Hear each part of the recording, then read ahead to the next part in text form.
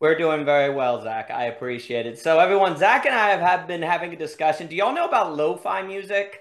Kind of that background music you hear, kind of low reverberation. So, we're very interested. What exactly is it about this historic moment that makes that kind of music emerge? And so, we were talking about lo-fi music, which you see is very popular as sort of like what is it that's kind of participatory? Why is it in this moment of meta modernism that it may have arisen and what's going on? And I find it interesting because I'm, you know, every now and then it's kind of like interesting. I have kind of a cultural analysis, like on the kind of stories that are coming out, on the kind of music that's being played, and what does that say with the kind of cultural architecture uh, that's going on if I'm honoring Miss Willman's work, and what does that say? And and Zach, so I'm gonna put you know I'm gonna let uh, put Root on the spot. Was talking about like what would it look like to have meta modern music today?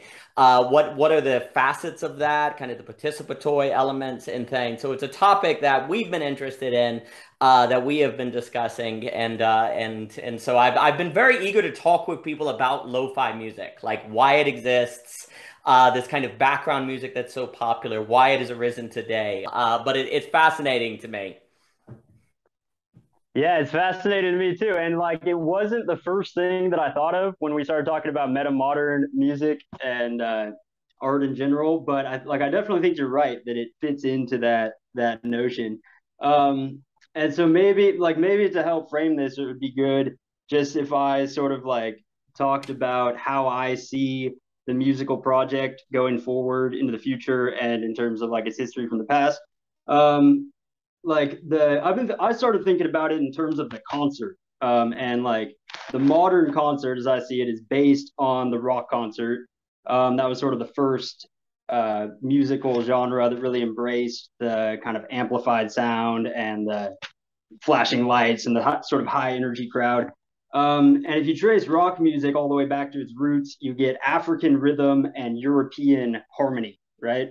And if you think about the way that the, that music was performed in those two cultures, um, it's very they're very much opposite each other in my mind. Like you have the the African sort of tribal dance, which is very immersive, very participative, very sort of loose, um, and then you have the European symphony, which is very much um, sort of rigid and precise. And the, the relationship between the performers and the audience is very different in those two contexts, right? In the tribal ceremony, there's a there's no clear distinction between the participants and the the audience.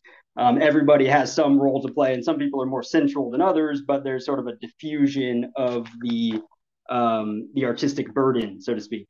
Um, whereas in the symphony, it's very much the audience is detached from the performance. They're very much sitting in the dark, kind of witnessing the performance happen there on stage. Um, and so, to me, rock and roll music has tried to to somehow reconcile this tension. Right? They've they've sort of tried to bring the the participative energy of the the tribal ceremony into the concert hall. Um, and some artists have done that more successfully than others. And then now, like modern music, whether it be rock or hip hop or reggae or whatever it is, they're all sort of basing their their model of of interaction with the audience off of this rock concert. Um, and so to me, the question is like how how to deal like that. That's just how I would frame the problem. Is like the the dialectic between the African tribal dance and the European symphony, um, and how does the meta modern artist bring in participation back into the performance that was lost in the modern world, right? I feel like in the ancient world, art was very much participative. You think about liturgy, you think about procession, like the place for music and imagery and uh, story. All of these things were they were deeply participative, right? They were deeply sort of uh, in the fabric of the culture. Whereas now we see them as these art objects that sort of happen within this isolated place, right? And so the artist, I would say, went from an artisan in the ancient world into a like an entertainer in the in the modern world as well as like uh there's like the artist took on like this prophetic role in the modern world right? Because the there's this idea of like the romantic notion that we can come into contact with reality by sort of projecting imagination out into the world right? So the the art object took this sort of prophetic role um, onto the the postmodern world in which the artist became an activist, right? Because like beauty and truth and this whole idea of reality sort of got deconstructed, and the role of the artist was just to, I mean, everything became about power, right? So the artist became a vehicle of power, like everything else. um, and they were meant to use their art form to sort of affect power dynamics. And so the question is now, what does the meta modern artist do, right? And I would say that, that the task of the meta modern artist is to to reincorporate participation and to bring the audience back into the art form somehow. Um, and so you you brought up lo-fi as an, as an example of this, which again, like I hadn't really thought of it that way because um, on the surface, it's very it's not very participative, right? It's like lo-fi is generally produced and uh, listened to in solitude. You know, it's the whole image of lo-fi is like one person on the computer making the beats and then, you know, listening to lo-fi like a, on a rainy day, kind of looking out the window by yourself, reflecting. Um, but I think that it is like to me what stands out about lo-fi is that it was created for a purpose, right? It, it's it's an act of ontological design, right? Like it's it's designed to put you into a certain state of mind what, rather than to project a certain uh, imaginal imaginary idea out in right? It's not so much like i'm trying to express myself it's more about i'm trying to put you in a certain mindset right? Um, and so the fact that it was designed with the context in mind and with the subject in mind that to me makes it very meta modern um, also like there's deep there's all these like paradoxes within lo-fi music right? Because it's like i mean on the one hand like just I mean, just in the name lo-fi is is short for low fidelity, right? So it started these these people were sampling all this low fidelity music, which was seen as low quality music, right? Um, and so like there's just something very ironic about using these high tech, uh, in you know these high tech uh, sound engineering plugins and such to t- to intentionally put in static and microphone noise and to intentionally use the quote unquote low quality music um, like it's it's a full rejection of the sort of platonic ideal of like everything's perfect and clean and orderly. Um, it's a deep embrace of the imperfection but also using like this sort of using high tech perfectionism to to uh, to bring the imperfection up into something greater. Um, and then just like the whole relationship between like I think I've been thinking about the relationship between like the phallic and the matrical in terms of this that uh lo-fi comes from like it's hip hop beats slowed down and then you know they do other things with it. Um and hip hop is like very much phallic right? It's very much like the the voice in the center and it's the lyrics and it's very much like it's, it's that central uh center of it's it centers focus. Whereas lo-fi is like there's no there's no lyrics in it. And so it's this very diffuse matrical like it's meant to be sort of this background music right? So there's the contradiction of hip hop being very phallic and but then the the lo-fi being very matrical. Um there's like there's just all sorts of contradictions. I don't know i don't know i feel like i'm rambling at this point. I want to pass it back to you but that's my that's my introductory uh statements on lo-fi music. Well i appreciate that very much. And it's interesting to me because there's this kind of question now just to to on what does art look after postmodernism right? You have you know modernism you have postmodernism. What is if we use meta modern um, as a phrase what does that look like in literature what are the characteristics of that in say architecture? What does it like that look like in music? What is emerging as opposed to sort of being top down design right? Because that says something about the sort of collective consciousness of the culture that's going on. And it's interesting too because in the net conversation we had the other day there was this conversation on the difference between say storytelling and philosophy which is actually a fascinating topic uh, because there's a sense that if you think the philosophy is wrong then it is a story but if you think it's true, it's not just the story, right? Like all philosophies that are not true, you think are just a kind of storytelling, right? Not even good storytelling. They're just almost like a chronicle of ideas. Whereas philosophy that you think is true is not merely a story, even if it's structured. And so I, you know, that that also has. I've been thinking a lot about that, and also a historian figure named Hayden White, who wanted to argue that all history was ultimately literature and structure. Now, that's only say an insult if one assumes that literature equals false. Uh, but he wasn't saying that. He was saying, no, history is a genre of literature and literature is a valid form of truth. So, you know, there could be this argument that philosophy is a genre of literature, but that doesn't mean it is false, even if it has similar of designs and different things. So for me, it's always kind of interesting to look out on the horizon, if you will, on the kind of art and the forms that are emerging because one that is an insight if indeed philosophy and story can be very similar in different way. And then I'll pass it on whoever wants to speak. Um, then what is happening in art may suggest some ideas, new philosophical ideas that are forming that have not been yet articulated into philosophical language, but are being felt, like that that are that are there that are trying to come to the surface that are still in an emotive way. And that's not an insult because ultimately the emotive is the most lived. In fact, you know, philosophy is just simply where we very often philosophy is trying to understand something we already know so that we get a better grip on it or trying to have a better sight of the territory so we can walk across it more clearly to the next thing. So um, so art and philosophy are, are very tied together. So for me, the very emergence of lo-fi music, which you know, I, I I'm I was I I've always loved Nujabes. Um, some of the Chicago, I think they call it the living room music and different things that I think is all part of this emerging, which kind of feels like a space that people are creating so that their imagination can go where it needs to go so that they can rest. There's a participatory in this sort of imagination. So it's very interesting to me and i'll pass it to miss harris. When zach mentioned the meta modern artist i think that's what you called it. Um, when you mentioned um, like a bringing back it made me think of all of these youtube channels that have emerged that put together playlists of like classical music but like bringing it back. But they do it in a very very specific way. There's um a channel i thought of is called nobody and i really like listening to it and um, what they do is they put classical music together, but they put a theme to it. So they, um, one was really funny. It was called The Way That Your Grandparents Describe Getting to School. And, and it's like this very um, intense classical music and there's a picture of like a snowstorm and and then there's another one called um, you're a viking high on mushrooms and that one is another good one. But it, it, made me think of that how all this stuff is coming back but in a very different way.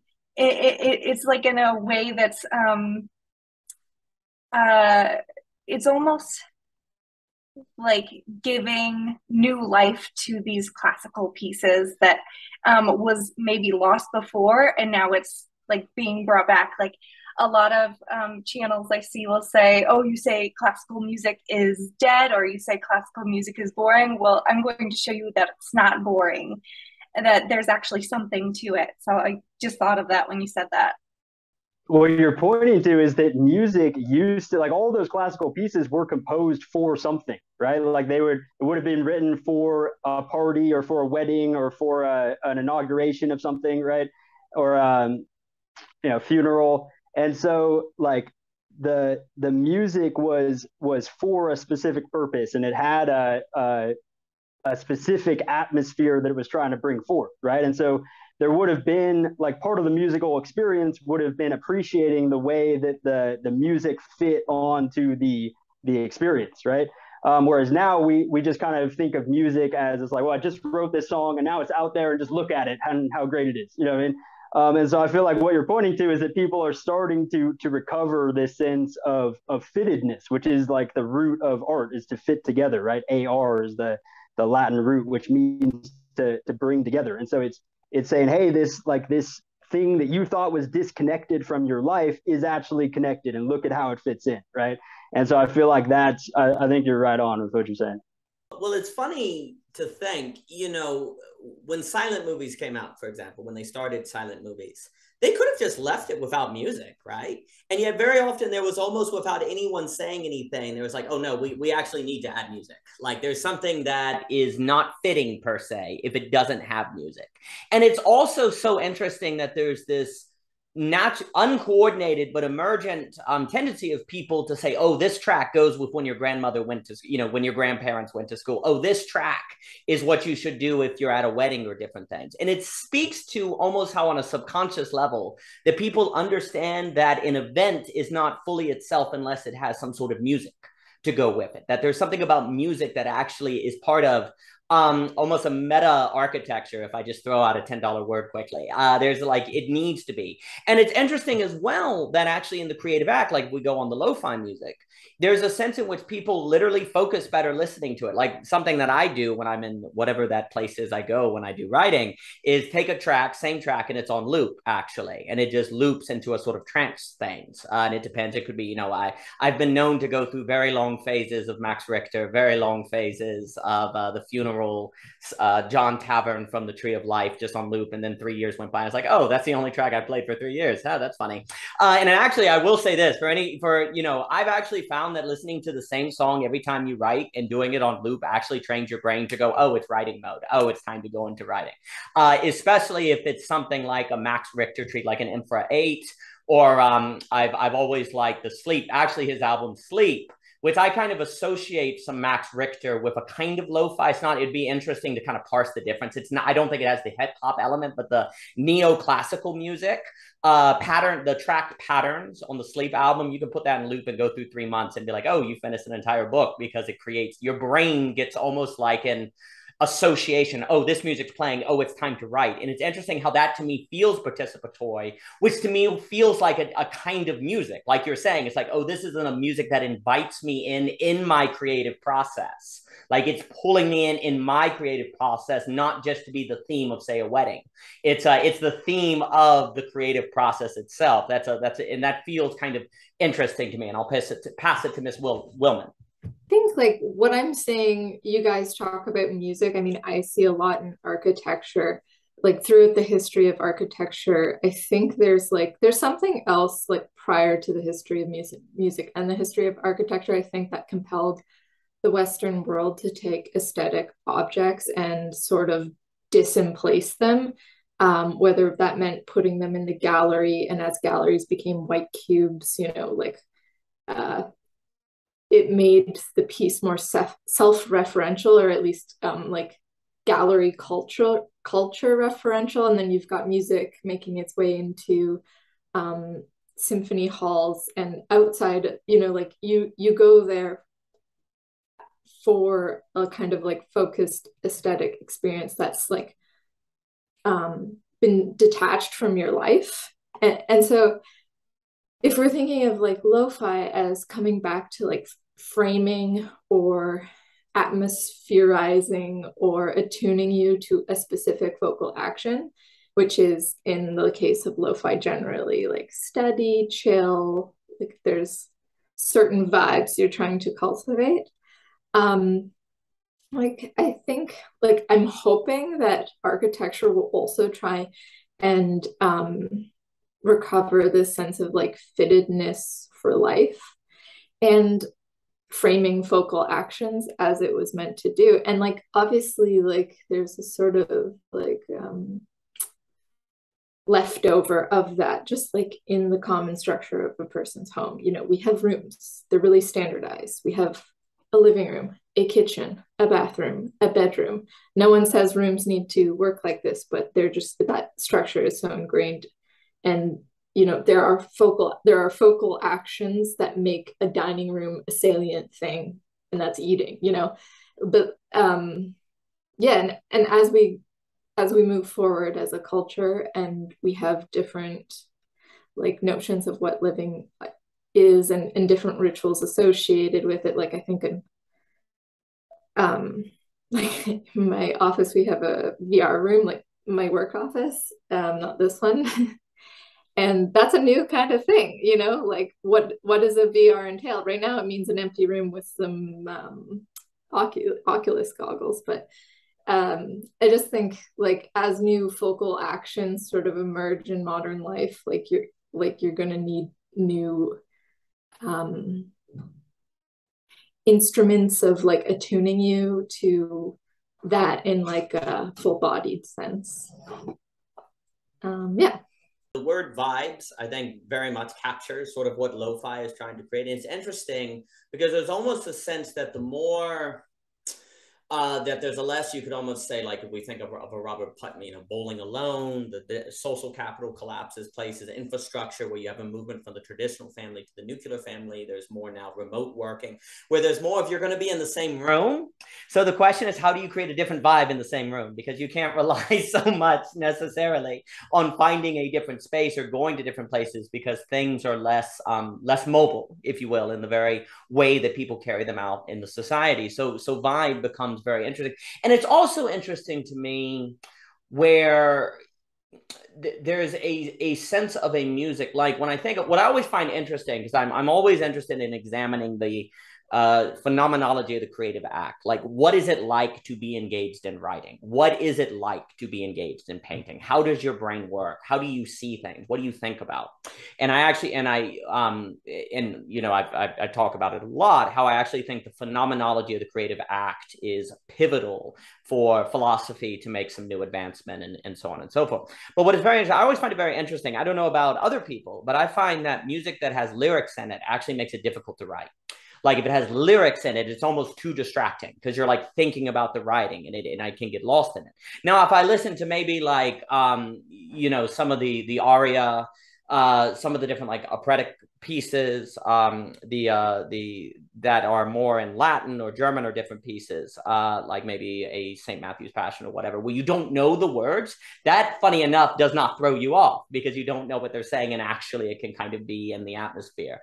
Um, I have uh, like I I'd had on Luke uh, loop Yoko Kanno's version of Ave Maria, and it's uh, outstanding. And I don't know what they're saying. It's you know, but it's fantastic. Uh, who knew that the Japanese could do uh, Ave Maria so well? But um, and it's interesting how there's like levels, like um, music that isn't a language that I know seems to throw off my ability to kind of participate in the creative act. Um, music that is in a language I don't know, not so much. And then there's this interesting sweet spot of you can also have an instrumental, but it, it, it can't be too noisy, dare I say. Like it can't be too active as an instrumental, unless, say, it's an active fight scene in the middle of the Sword of Tribulation. And then I'm going to be looking for, say, a Dances of Curses or something like that. Uh, so that that will work out. So it's interesting the different phenomenological experience in the creative act relative to the kind of music that is being listened to uh, and how that might be if we're looking for a blueprint of what meta modern music looks like or the different way to kind of focus on and home in on that awareness of the different phenomenological experiences could be useful. I have thought of that like actually like just in terms of well i'm assuming that usually when you're in a creative flow state like you're writing and a lot of my work and creative work is done 3d modeling or drawing in which case I have sort of thought like there's maybe like a spatial part of the brain and a language part of the brain. And when I'm 3D modeling, actually like giving part of my brain something to keep itself busy with is like really it gets it out of the way a little bit. So if I am like working on a model, I might listen to like a lecture but then if i'm trying to write something i could never do that you know no, I will, I'll add to that very quickly. I find it's actually very important to be super aware of the kind of music you're listening to and what you're doing. Like, actually, I find weed eating is better if it's music with lyrics or music that's more active in different things. Because I, because I almost, it's almost like I want to be pulled more out of the because weed eating is generally more mechanical, right? And it's actually more enjoyable if you have music that are almost pulling you out more into an alternative world. Whereas when you're in the act of writing, you want music that makes you be in your creative world, not necessarily pulled out into imagining a story. Because I'll do that usually with manual labor. It's a time to actually think about the story or to think about like the thing that you're going to write out. And you actually want the full blown music to kind of take you into the story so you can think about it so that it's there in your subconscious when the next day you go to write it. So it's actually interesting, and then I'll pass it on that it does seem like the um, the particular task that one wants to do has an impact on the kind of music that they listen to because the way you participate in it in the listening changes and actually like you were saying like i was uh, i realized that the closet was a disaster and listening to a lecture by mr nicholas uh, while doing that actually made the task much much better i think it's uh, it's really interesting that you like to write to lo-fi music, but Sam doesn't like to uh, or Sam, you were saying you like to do 3D modeling with music that has lyrics in it. Because I was going to say this about lo-fi. To me, there's a, a, conspicuous absence of lyrics in in lo-fi music, right? It's not like philosophy of lack. It's not just that there's there aren't lyrics. That it's that like lo-fi calls forth lyrics, right? Because it's a hip hop beat, so it's like it's it's very repetitive and it's meant to like it's meant to just be that that background to which a single focus can can uh, lay on top, right? Um, and so because that's not there, and yet the beat is there, it's sort of like it calls forth lyrics, right? And I feel like, I mean, to me, I'm I'm a songwriter, so like I know what it's like to be either listening to an instrumental or just like you know playing chords and trying to come up with lyrics for that, right? And there's sort of this sense of like like okay it's coming around again like here's the one do i have something to say right and it's sort of like this this like lerping thing and i feel like lo-fi just the structure of it yeah you know, i mean it's like um, you were talking about music, like listening to the same song in order to facilitate a certain action, right? Like the word groove comes to mind there, right? Um, which is obviously a musical concept. And like the groove of lo-fi, it's the way it works is is there's a snare on two and four almost always, right? And that sets up the the pockets. That's like the the moment that you return to, and you sort of like when you like when the audience claps their hands, it's always on the two and the four with the snare, right? But then the kick and the hi hats are like all over the place, and it's like you can't you can't just do a steady eighth notes uh, rhythm with the hi hats, or else it'll just it won't sound like lo-fi. It'll just sound like a like a boom bap hip hop thing. You know what I mean? Um, and so you have to intentionally like make it all like disjointed to give it this sort of like lerpy like the the image that comes to my mind is a, a river rock rolling down being pushed down a river. You know, I mean, it's sort of like and and it's sort of like this rolling but uneven thing, and yet the the snare keeps everything locked into that groove, right? So it's it's not so repetitive that you fall into like a, a rote kind of uh, repetition, but it is is not so disjoint that you can't get into a groove. And so I think it's it's just totally fitting that that it would call forth writing from you in that like I think it's I think it is designed to do that. And so I don't know, I just add a little little music theory to the discussion, I guess. And I liked how um, Sam was saying about how like she likes to listen to music with lyrics when she's doing her 3D designs. Um, I I know when I do like an analysis of a story, I have to listen to a certain type of music. Otherwise, I'll go back later to what I wrote down and I'm like, oh no, that was completely off of what I was trying to say. Because if I'm not in, um, because I do a lot of uh, Kafka analysis of, and um, it's not, those stories aren't upbeat like and, sometimes i just have an upbeat song on and i can't really and because of that i can't connect to the story. And that's actually what happened with i did an analysis on the country doctor and i had to do a second video because i was like oh no like that's not what i was trying to say.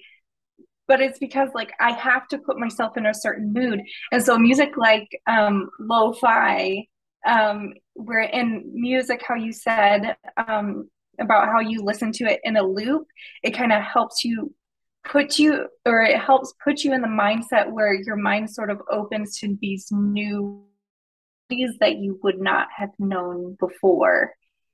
Um and, and it's a weird phenomenon that like happens. I was just thinking about your comment, Zach, and and how this absence of lyrics sort of calls forth um, language, maybe and I think that's really interesting because it's not that I'm gonna hold fast to what I'm about to say, but I think one could think of music as kind of proto language, and um, yeah, so it's it seems like an excellent prime, so to speak. Um, also, then of course, like you know, I think I think the best writers are usually aware of the music of the of of their uh, wordcraft, you know. Um, but then I was thinking in an opposite direction, like um, Daniel, you were saying that like when you're doing manual labor, you want um, like a different kind of music, and then I was thinking like, oh, okay, so um, like linguistic thought often re relies heavily on metaphor, and where do we get um, a sense of a a well-fitted metaphor is from the physical world. So if we're sort of like considering like um uh you know like a linguistic proposition and then we ask ourselves, okay, this person just said X. Does that have a sense of rightness to me? Like working with one's hand in that moment might have you might be more primed, so to speak, to have a better sense of like the fittedness of the of the idea well, it's interesting because, you know, when one engages in the act of writing, which I use as the reference point because that's why I do the most of obsessively, um, that, you know, you have these kind of stacks that one is dealing with where there's the structure of the sentences grammatically, there's the structure of the argument. And then, of course, creative writing is so fascinating because then there's even like a, another layer of the moving of the image in the sentences so that it's kind of fluid and how it fits into all the different stories. You know, when you're just doing a nonfiction piece, especially if it's not necessarily a imaginative non, you know, imaginative nonfiction piece like you would see in a David Foster Wallace or something like that. It's just like a philosophical essay. You don't have to worry about the consistent movie movie playing in your head. You have to worry about the consistency of argument, but that's not quite the same.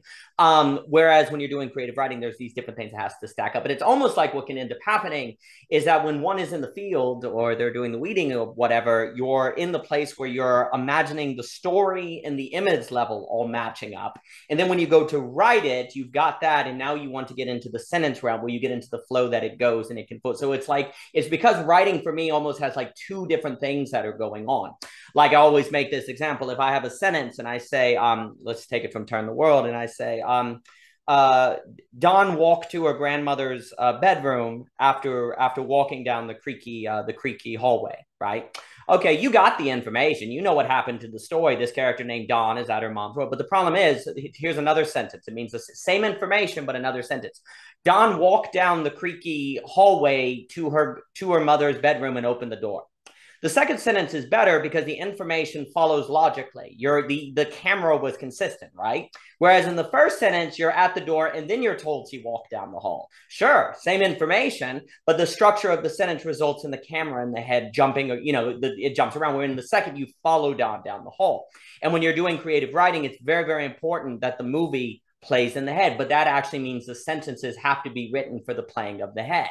Well, that is something I find I can do better, like in the lo-fi place, uh, because you're you're just following, you're getting in the beat, you're keeping it. Whereas when you're in the chaos of the story generation, if you will, you want to have sort of a vaster thing. You don't want to be thinking about the nitty gritty of you know the sentence structure. You want to be thinking about what Don and George are going to do about these people floating in the sky and how that ties into the climax on chapter thirty in chapter thirty or whatever. So it's interesting for me that kind of different stack of of actions that occur. Um, and I wanted to note what I find very interesting about music um, is there's a sense that it has this ability to sort of structure one's thoughts or help an individual be organized or create a beat to the project that they want to do. And it makes me think a lot um, about Ulysses, like the mythic method that James Joyce did in Ulysses. Because there was this kind of idea that he had a lot of episodes, but he needed to turn to Homer to give a structure by which to hold these episodes together. So you have Ulysses, he called it the mythic method. And likewise, you have T.S. Eliot, and I'll just use these two examples because they're premier modernist texts. There's this notion that there are no longer givens, God is dead, we don't have any meta narrative or whatever. And there's this notion, well, we still need a kind of structure uh, to hold things together, or, or else it's chaos. You know, you know, T.S. Eliot in The Wasteland, he turns to a lot of references to the past. He's constantly showing these fragments against these ruin, uh, these fragments against his ruin, as he says at the end of The Wasteland, in the same way that Joyce is employing a sort of mythic method to structure chaos. It's very interesting where there's almost a way in which music can function as a kind of mythic method to the brain when it's engaged in creativity, where it can create a sort of structure around all of the different episodes that are going on in your head and figure out a way to hold it together into a coherent coherent whole, um, and that can make it flow. And it's interesting because that seems to be something that if we're if we're talking like Mr. Mr. Fishman uh, is is noting this return to a participation, it would seem as if a lot of that is in this creative act where you are participating in providing, you are choosing the music to then provide a structure for your creativity, but you are also creating that structure in that you are making it a thing that then fits these pieces. Like after you, James Joyce, Ulysses is never the same. It is now also the structure to the modernist text that James Joyce put put put out. On the flip side, and then I'll pass it on. There's also this interesting dilemma where one of the reasons I like lo-fi or that or some of the ne- neoclassical music and I guess uh, Aflo Arnold's uh, some of the Icelandic uh, composers come to mind as well who are geniuses, but Max Richter and different things. It's precisely because it's Summons voice. And so you feel like, oh, I'm going to put the voice of the creative act or the, the thing that you're working on. That is the missing lyrics per se that you're ins- inserting into it. Whereas, say, for example, anytime I would write to say like an Eric Whitacre, uh, I did choir for a number of years, and like an Eric Whitacre, I always loved uh, when David Heard, um, Sleep. Uh, I think Eric Whitacre is a genius, and then obviously uh, John Tavener um, and the individual who did the Requiem, whose name escapes me, that's a masterpiece. Um, I would always feel like there's almost something obscene to be listening to it as background music, as opposed to stopping everything you're doing and being like, "Oh, this is this is when David Heard by Eric Whitacre. You know, this is a this is like the breakthrough of the sacred. You need to stop everything you're doing and pay attention." Um, and it's interesting how there's some kind of music that it feels like you're using it and not really appreciating it, which is bad. But then there's other kinds of music that almost invites you in, and that makes and that's where like lo-fi seems like it's different. It wants you to use it in a kind of background, dare I say, uh, setting. Uh, it's kind of inviting you to do it that way, which seems unique, and it makes me think. And then I'll pass it on to Sam. Um, you know, with Satie, um, you know, he did the, you know, the pianist. Um, he did the famous "Get Get Get Get a Fonte" music song. Dun, dun, dun, you know, everyone knows it. But he created what he called, um, he called, I think he did call it actually living room music. And the notion was he could he composed tracks that he wanted to play in the background as say people ate dinner, as people walked through the hall, as they read a book, like literally the tracks by um, Sat was uh, named so that people would do other things. He got so frustrated because everyone would stop what they were doing and listen to the music. He's like, no, no, no, no, no. You're supposed to have dinner while the music is playing because the sounds of you having dinner is part of the music, dang it. And that makes one think of like uh, 422 by, uh, you know, the, where they don't play any music or 433 or whatever, where they don't play any music. But anyway, he was trying to create music that was supposed to be background, that that was the music, but the world wasn't ready for it in a way. It was too it was like at that period of time in history that it won't ready for it. Whereas now maybe it's almost too easy to use music as background music where you don't really listen to it but then at the same time there's a need it seems for music that can be a mythic structure to people's creative acts. Um, but yeah i always laugh when i imagine erik satie getting angry that people were stopping and listening to his music instead of going about their day. I'm like not many composers tend to get mad about that but he was really frustrated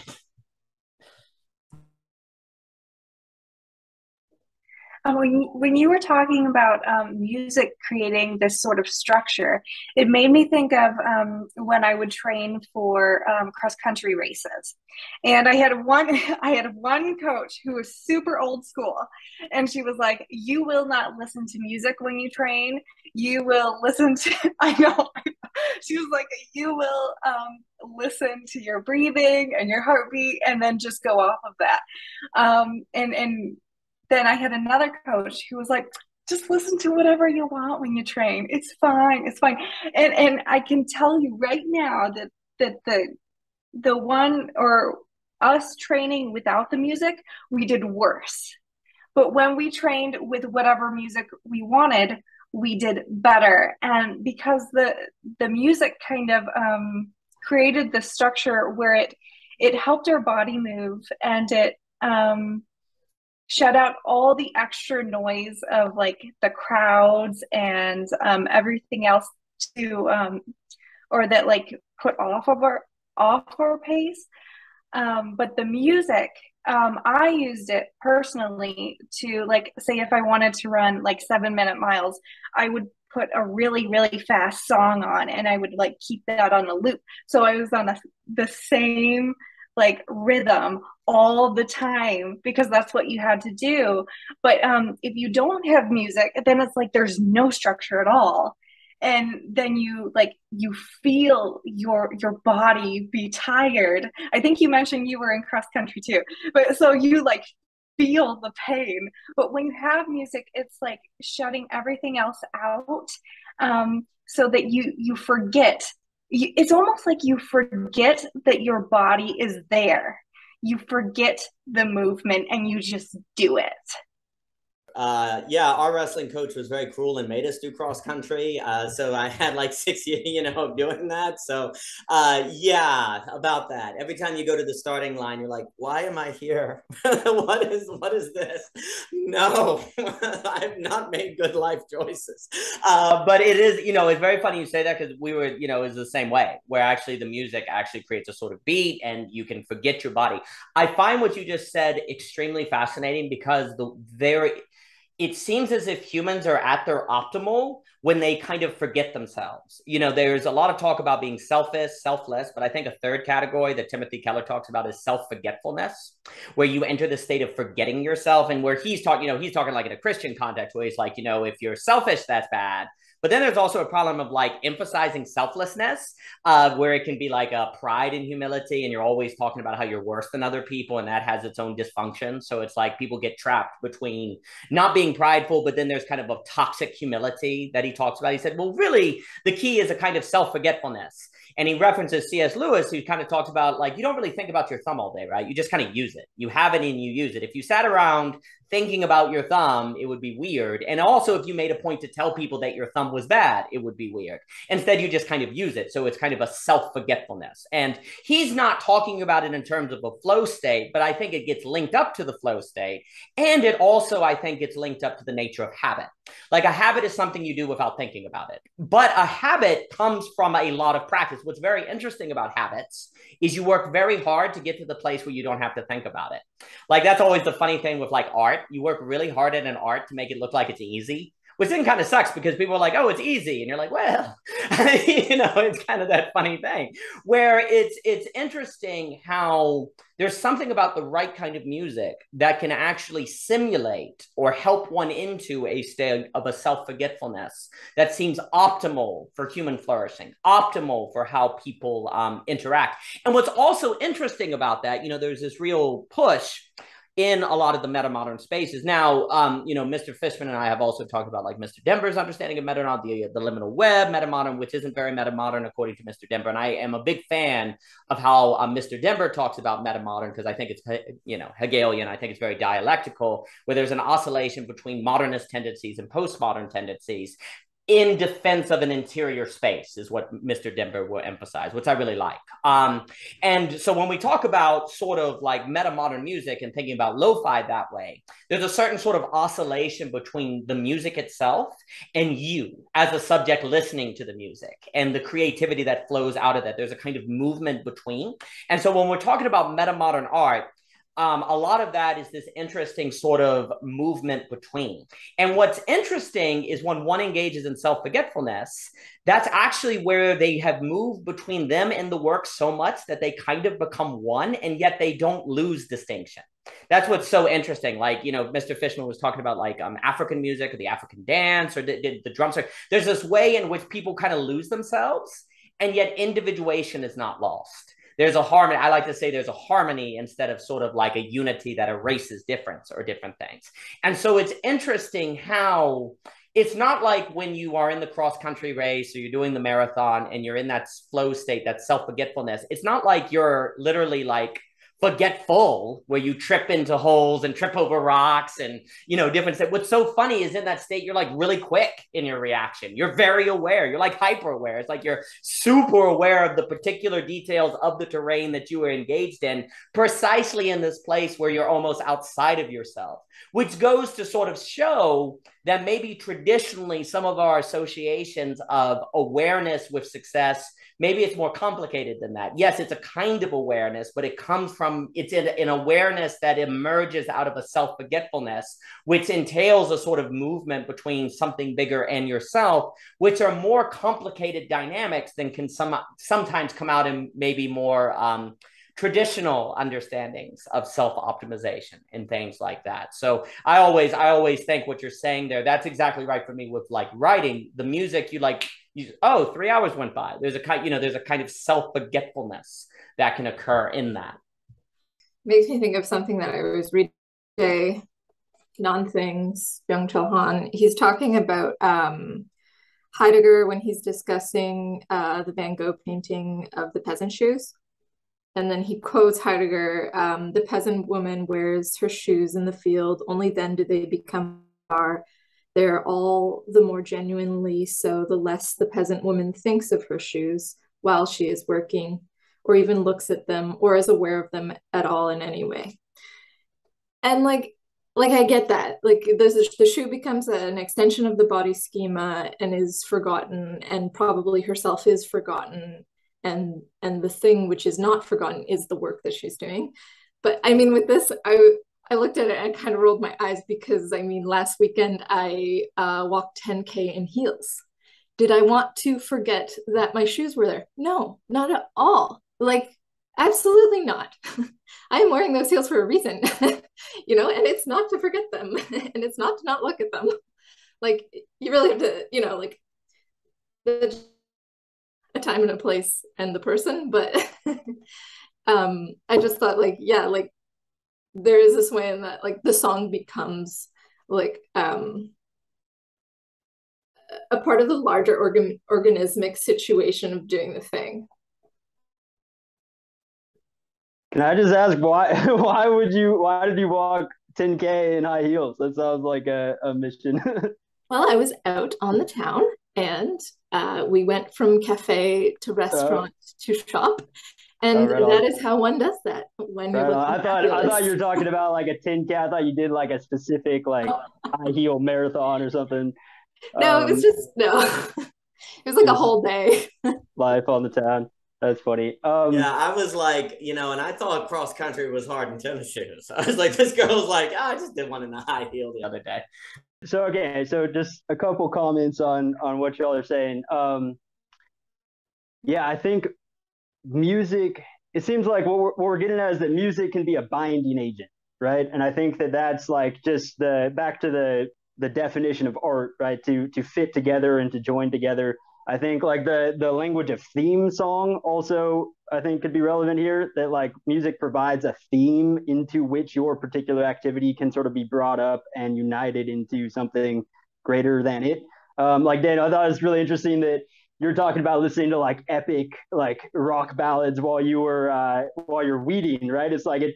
What that does is it allows you to turn an otherwise mundane thing into it's like I'm on like I'm killing these weeds. You know, it is like a it allows you to to engage with it as like a, a quest rather than just like a, a mundane task because you're brought up into the theme of that song, right? So I think music definitely acts as like a like and and writing music too for me like when i think about writing a song it's always like there's always i'm trying to figure out what's happening in the moment. You know i mean? It's like things are always sort of like like what's what's going on right now? You know i mean? Like something's happening in my life and i can't quite say it. And then it's like a song just sort of descends and suddenly it's all like there's like this flash where everything sort of fits together right? And then i have to go through all the work of like bringing that flash into into a body that can sustain itself in the world. But um it like definitely just the the language of fitting together um, theme i think theme is like a really important word here. Um, going back to like procession too and liturgy that the music it's like if you hear think about the way that music like calls people to things right? Um, like the, another another word that starts with ar or contains that root is alarm right? So it's it's that which like brings everybody's focus up to a point. Um, or like the call to worship in Islamic uh, cultures, or like Sam, you were talking about like I'd, I'd be interested to know what you what you mean by uh, language or music as a proto language because I've thought this before and and you know I've got my own thoughts on this, but you said that as sort of a, an aside. I thought that was really interesting what what you meant by that. But anyways, that's that's I don't know. I just wanted to add that that that so that idea i think it's pretty intuitive in the first place but in the second place actually um i um where like how i would speak to that is um probably through the language of charles taylor in the language animal to which he has said he will write a second volume but which has yet to arrive. Um but at the end of the book you know he he so in the book, he goes through like two types of language use, designative and constitutive. Um, he talks about the history of the philosophy of language. Really good book. Um, but uh, designative language use is sort of like encoding information in language. And I think, you know anybody who writes poetry would know that actually like language often contains a lot more um, than the communicated information and that's why we get polysemy that's why we get metaphor that's why poetry is good you know? Um, and uh, and in it when he looks at uses of language which are constitutive such as metaphor and things like that he um, and this kind of goes back to what i had said earlier about like metaphor being grounded in embodied experience. Um, there's there is with constitutive language use like a good metaphor an intrinsic sense of rightness um, that um, that is just sort of felt hap- like kind of sensually or haptically. And um, uh, likewise he he talks about music you know there's there's something being communicated in a piece of music. It's like what is that? There's something being communicated when i walk 10k out on the streets in my heels. Like it's a it affects my posture it changes my stance towards other people in public. And like what quite is that thing? Perhaps like daniel you were saying it's it's fuzzy still. It's on the horizon of human meaning human social footings. Um, we don't really know what it means yet but language might give the vibe or sorry sorry sorry music might give like the vibe that will become a, a, a sort of seen named human meaning a philosophy maybe later like and in that way i think like there's a rightness and there's like a certain feeling that can like grow you know that is how i i would describe music as being proto-linguistic or something. But again like i had said when i brought that up like i'm not holding fast to that as an absolute truth that i want you all to agree with. It's just an idea. No that makes total sense. And uh, i only ask is like this is something i've thought about too. Like more specifically the relationship between sound like the sound and the word you know i mean and even like to a theological place of like um or you can think about you can think about developmentally right that children learn that sound affects action before they learn uh, like proposition, right? So a child just learns that if I go, ah, the mother the, the mother will come and take care of me, right? So ah doesn't mean anything. It's, it's there's no proposition there. It's just a recognition of the relationship between sound and action, right? Um, and then as the child grows, they go from ma to mom, I'm hungry, right? And the sound is formed into that word, and they're they're able to to sort of bring clarity onto the sound and thus encapsulate it in a word and gain access to proposition. Um, and also, um, what you're saying about music setting a vibe, like allowing you to say something that isn't fully propositional. Like I think I just um, listened to this video of John Vervaeke talking about the difference between lying and bullshitting. Um, whereas lie, like lying requires a commitment to propositional truth, right? If I say, if you say, where were you on the night of the 22nd? And I say I was at home when really I was out robbing a bank, I'm counting on your commitment to act in accordance with what you believe to be true. So if I can convince you that some that a proposition that uh, that isn't true is true, then um, oh, my lie is successful, right?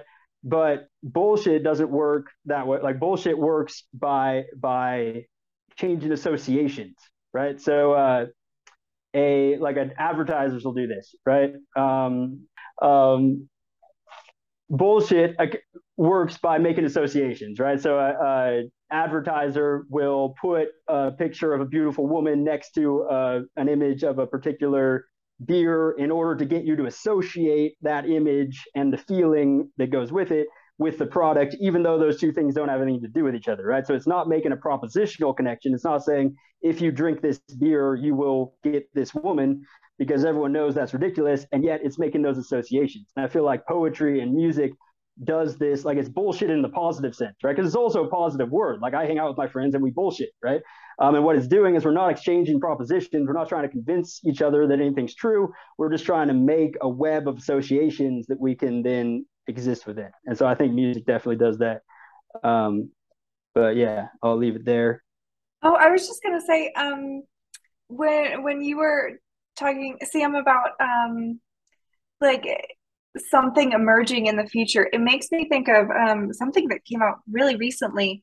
and it's not not particularly related to music, but um, is these aesthetics that have come out where where before um, it was like um, you had this like you think of the 2000s but you didn't really like have a name for it like a style or anything like that but now now you've got like hundreds and hundreds of like different aesthetics like different themes that you can like just look up on amazon or pinterest and there's these like pictures that just like fit in that theme where before there wasn't really um any pinpoint it even though we knew it was there and and and we could think of it.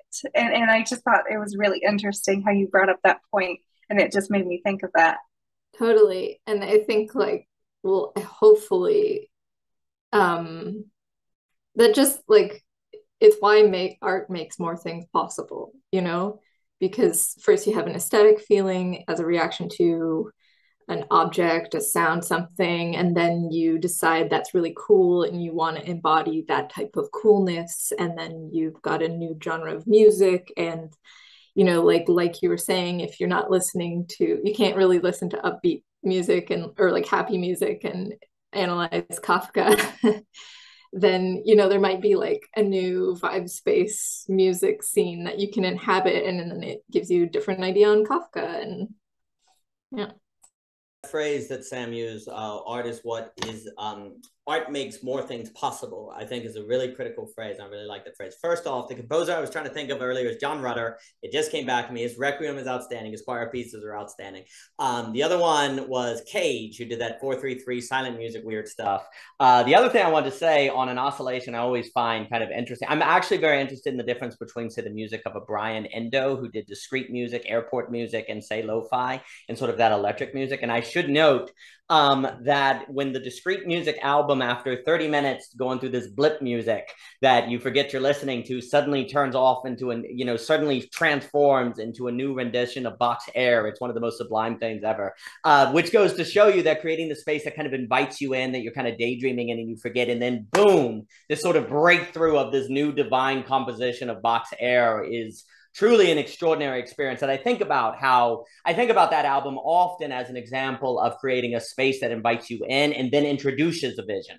Not, you know, it like it, it's kind of doing both there, where it makes some of that creative space where you're working and then boom, you stop writing. It's like, I, I'll never forget that the first because I didn't know that the second half of this album was this masterful composition of Bach's Air. And I remember uh that particularly uh, because of that powerful invite in and then boom the sort of breakthrough of something sublime. Uh, i've also been realizing i went back and before as another little uh, uh, side note i went back and reread burke and i forgot that for him sublime is very bad. And i've been using sublime and beautiful as uh, similes where for him the sublime is the aesthetic death drive basically that gets into politics and destroys everything and the social order is more organized by beauty. So i will try to be more careful in the future. You know know, one reads these books 10 years ago and remembers them in uh, SparkNote versions of memory that makes them say things that then they regret forever and they can never take it back.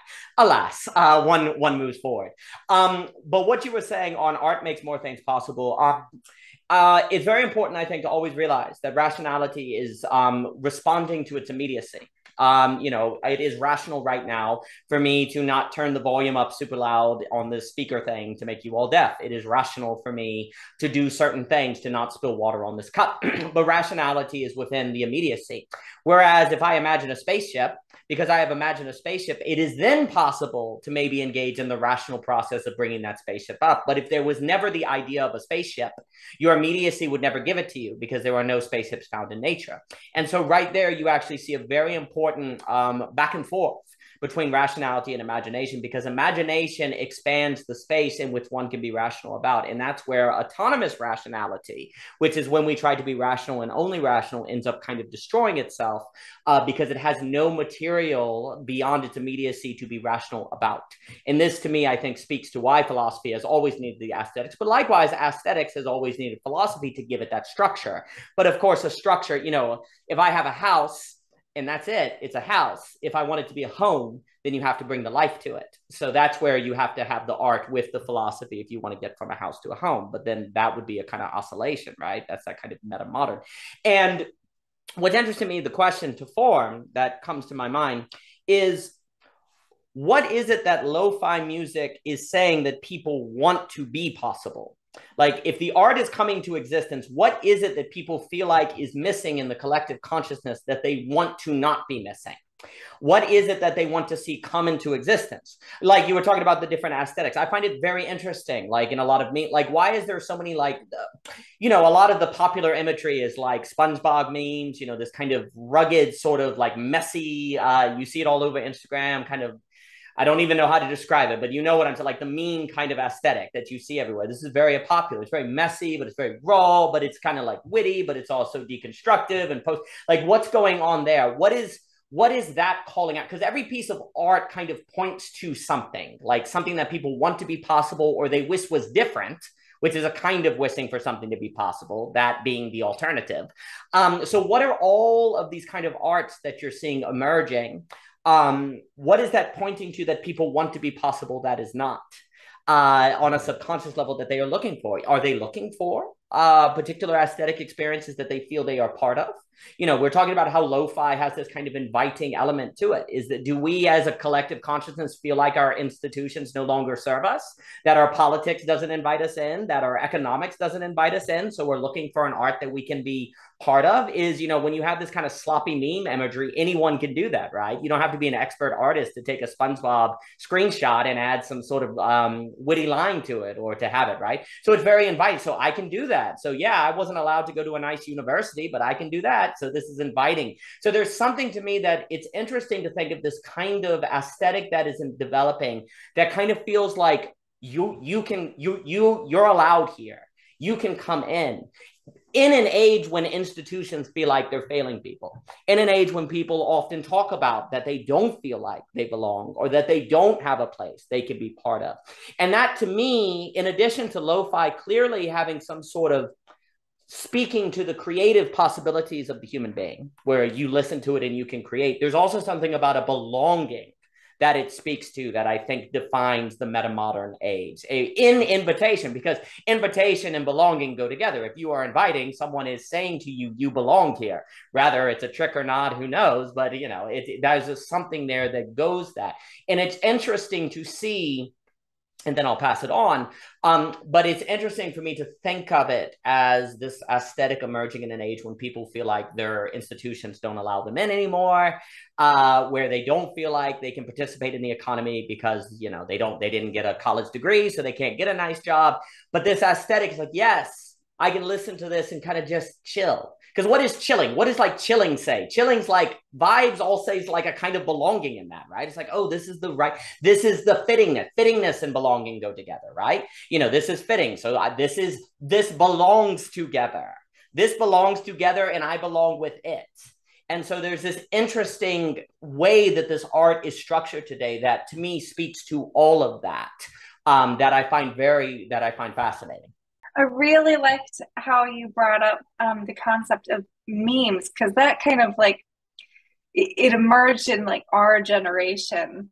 It, it, it was almost like um, like everyone who was creating them were were pointing to a truth without saying it out loud and that's why they were so humorous and, and it was something that everybody kind of was able to participate in because everybody kind of knew the truth behind it without it saying it outright.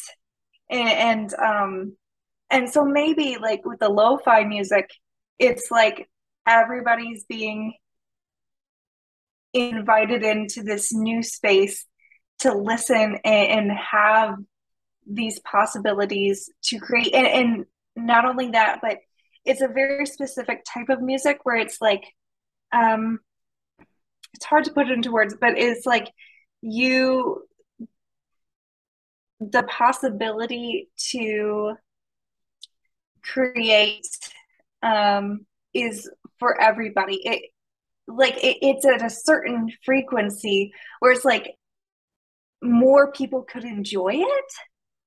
I guess uh, like like it's like some people don't really like classical music.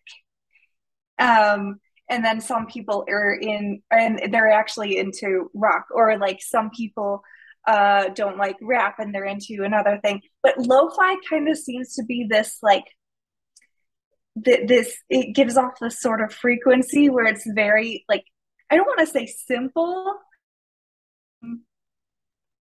It's hard to put into words but I, I don't know if you know where i'm getting at with this I think that's part of it where like a lot of people like exactly a lot of people don't like classical music. Um, and I'll even say that I think a lot of classical music, it's funny, I don't find it, it's so bent on proving to you that it's technically advanced that it doesn't invite you in um, it doesn't let you feel like you can be part of it. Where say Mozart's Requiem, it feels like, oh, not only are you part of this, this is like speaking to the you know transcendent dimension of reality that you need to pay more attention to. Dang it! Uh, so it's um, it's very no, I I think that's very interesting. Think of low frequency, like everyone, it's it's in, it's there for everyone. It creates this foundation. I'm enjoying this so much. I may keep you for three hours because this topic fascinates me. Uh, so so just so you know, Mr. Fishman and and and Sam, please. Uh, Sam, other Sam, just in response to what you said, yeah, like I, I had, I hadn't thought about that, but it seems kind of just funny that like a low frequency has like a really long wavelength, and it's the type of sound that can travel really far and is like sort of like has like a, a wider horizon of like motion. It just seems like it. There's like a there's a um it, like what you're saying it kind of drives I, I, don't know that's associative thinking but i did want to say um daniel in response to when you said like what is the thing that people want to exist in in these new aesthetic i don't know realizations? I wanted to contribute another thought from han because i thought i read it today and it just seemed to really fit with what we were talking about. Um it's the secret of a work of art does not consist in the fact that it hides information that could be unveiled. Uh, what is mysterious rather, rather is the fact that signifiers circulate without being stopped in their tracks by a signified. It is the secret, the sed- seductive, initiatory quality of that which cannot be said because it makes no sense. And even if it were revealed, the secret could not, um, since there is nothing, could not because since there is nothing to say, um, everything that can be revealed lies outside the secret, and yet it can be shared. No, I'll just comment on that. I, I think something that I always think is very interesting is you know obviously a lot of the development of music historically speaking is tied with religion uh, and it's put to, it's for the churches. And you know angus do is being as you're going into the cathedrals or different things where there's a notion that music always uh, there's something natural about art being in service that it can point to and suggest but can never fully capture and that no signifier per se can ever reach. And one of the things i'm glad you brought this up because what it seems to me that's so interesting about a lot of this music we see in the meta modern age is that it's almost like the new thing that it's circling as a kind of mystery to give it power is human creativity itself, or the human ability to participate in something while bodily sitting at their laptop and yet feel like they're not just there. As in, there's kind of a two worldness that's going on in this sort of invitation that the that the acts have, because there is something,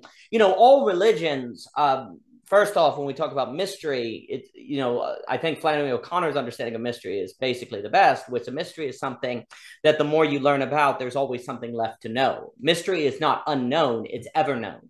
Uh, it is not a wall, but it's a road that keeps going.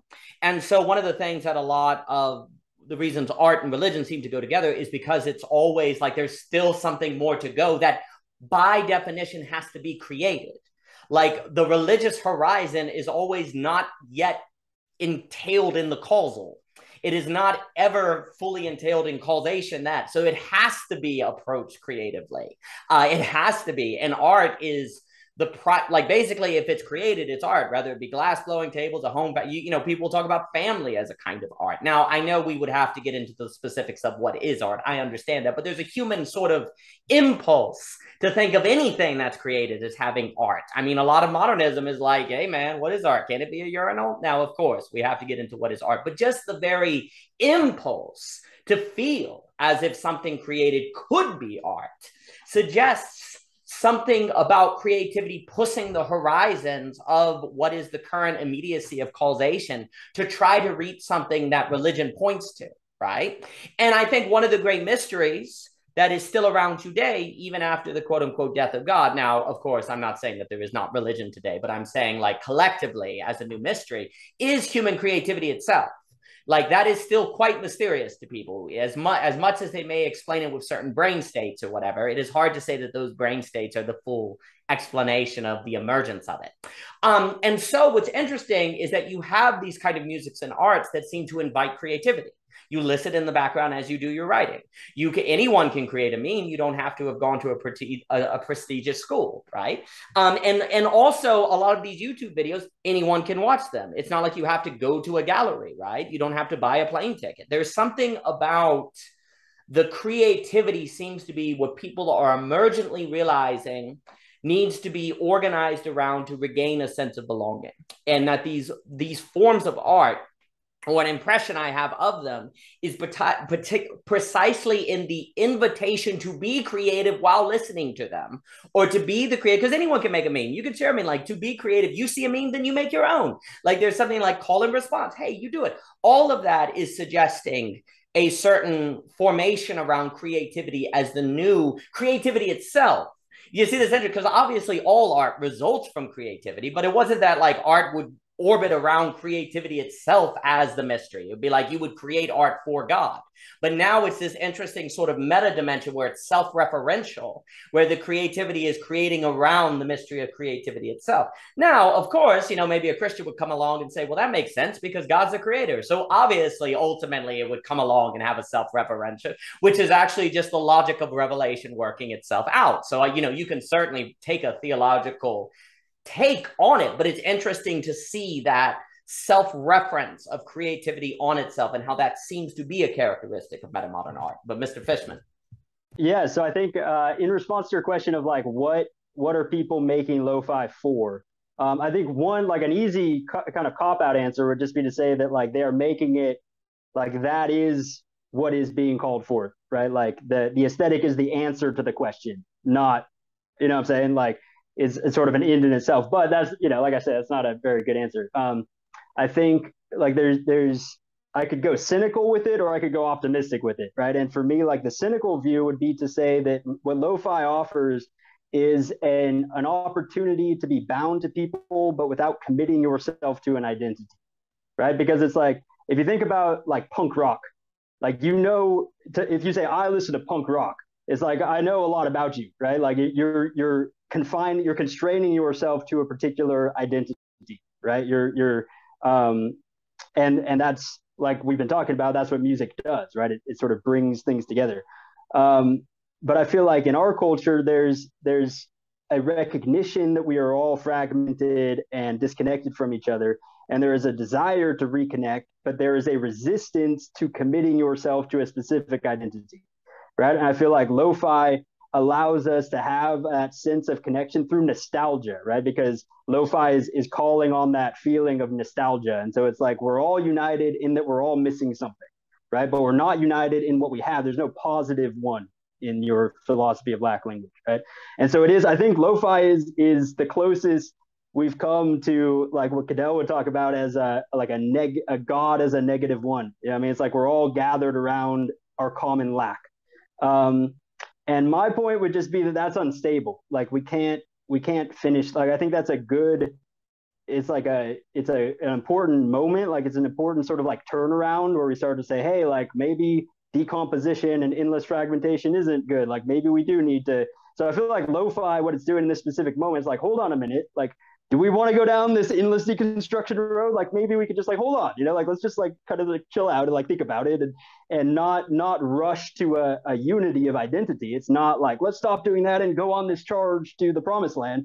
It's just it's it's kind of reflecting back on this deconstruction and and so the positive thing would be that it affords the opportunity for creativity, as you've been saying.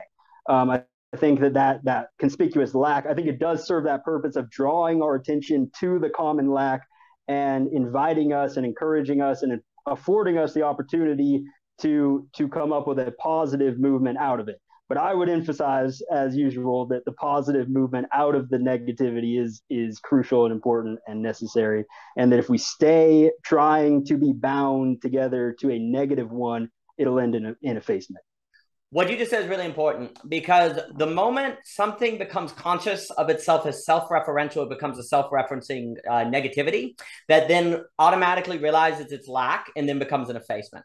So this is the issue. You know, for me, lo-fi, um, a lot of the art to me is emergently suggesting that the creative act itself is the new, the new mystery, the net.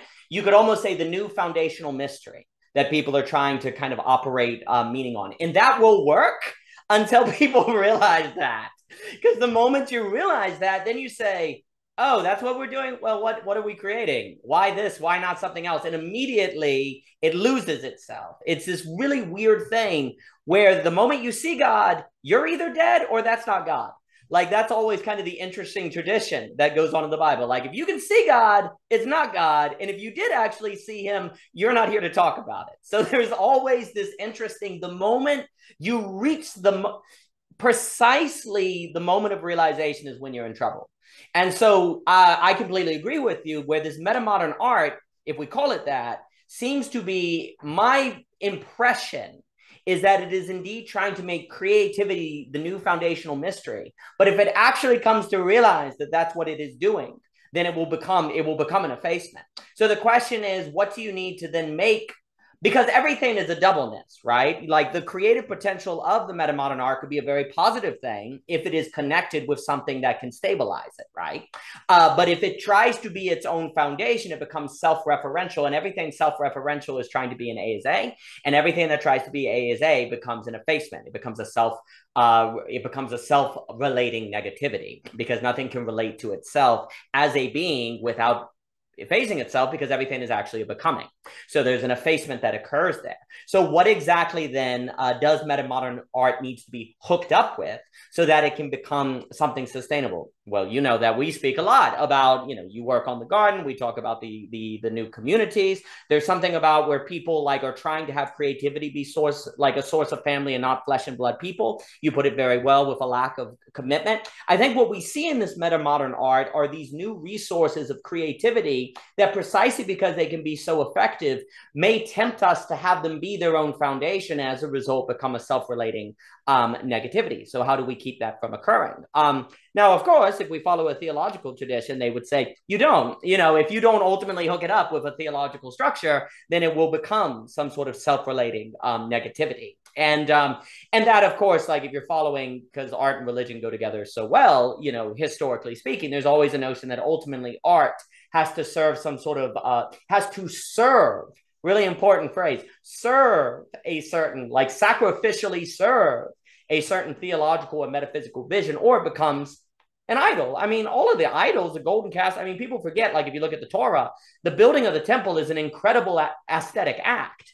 you know the building of the the idols the golden calf these things clearly people are not going to be worshiping idols that are ugly. You know these things look good. Uh, these things were aesthetically pleasing. That's precisely part of the problem. We don't tend to have to worry about things becoming idols that are not pleasing to the eye uh, that are not pleasing in some way. The problem is that the pleasure becomes self-relating. It becomes it tries to be its own foundation and at that point becomes an effacement so what you're getting at does suggest that this metamodern art as I think all art that's taught, you know, that doesn't ultimately have a sustaining vision, um, has a certain expiration date. So then, of course, the next question would be, how does one make sure it, it does not have an expiration date, but is instead negated instead of effaced into a sublimation, if we use that Hegelian language, because I have a quota every conversation where I have to use sublimation at least once. Uh, so how does how does one uh, have it sublimate as opposed to efface? And Miss Harris. I have a question.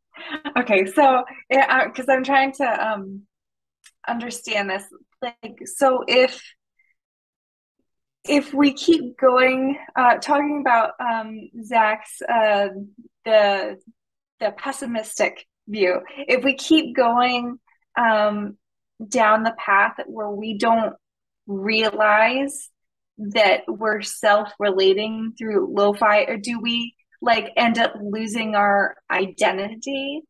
Is that what?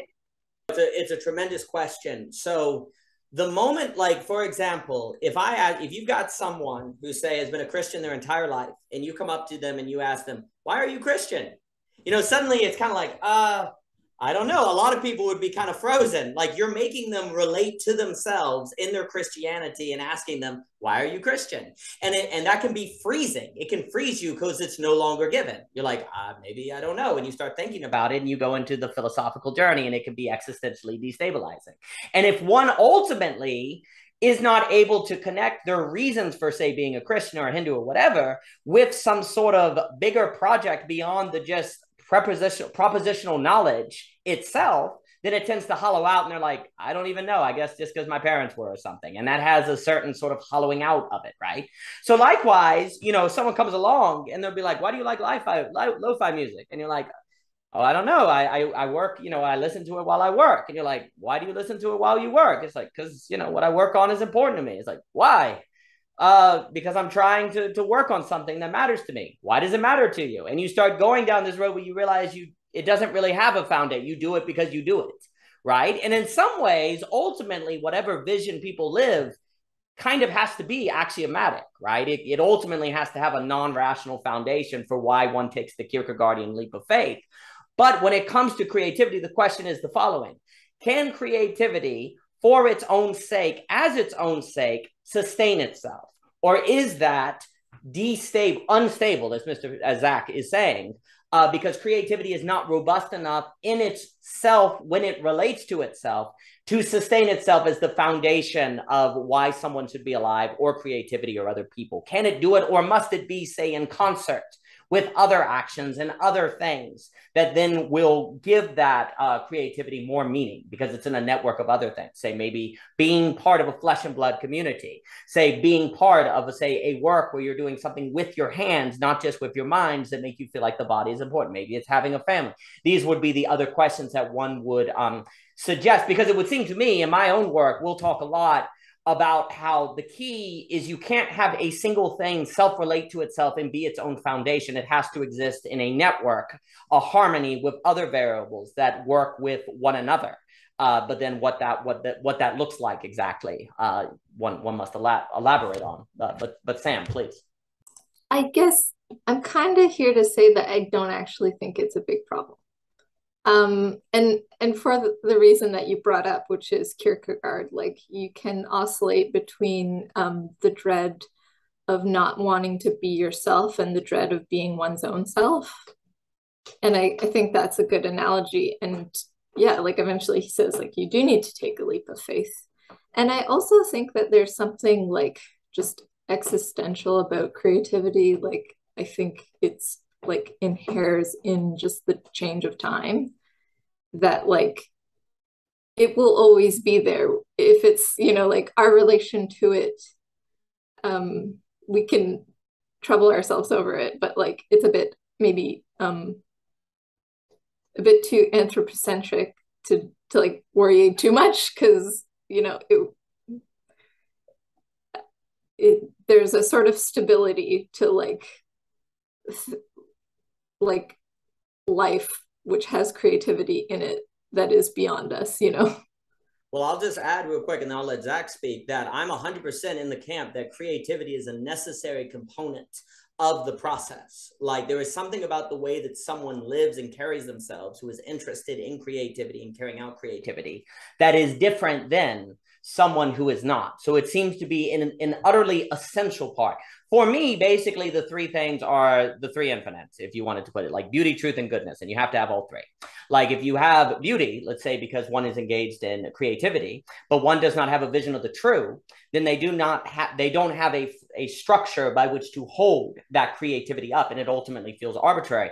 Also someone could create something evil right? You know arguably you know something that always blows my mind is how obsessed totalitarian regimes tend to be with aesthetics with the entire experience of the nation state. And it is incredibly aesthetically powerful. Uh, like i i tell everyone like you need to watch the you know the obvious example is nazi germany. I mean my gosh the aesthetic vision that they're trying to create with the music and the columns and the you know it's just kind of nuts.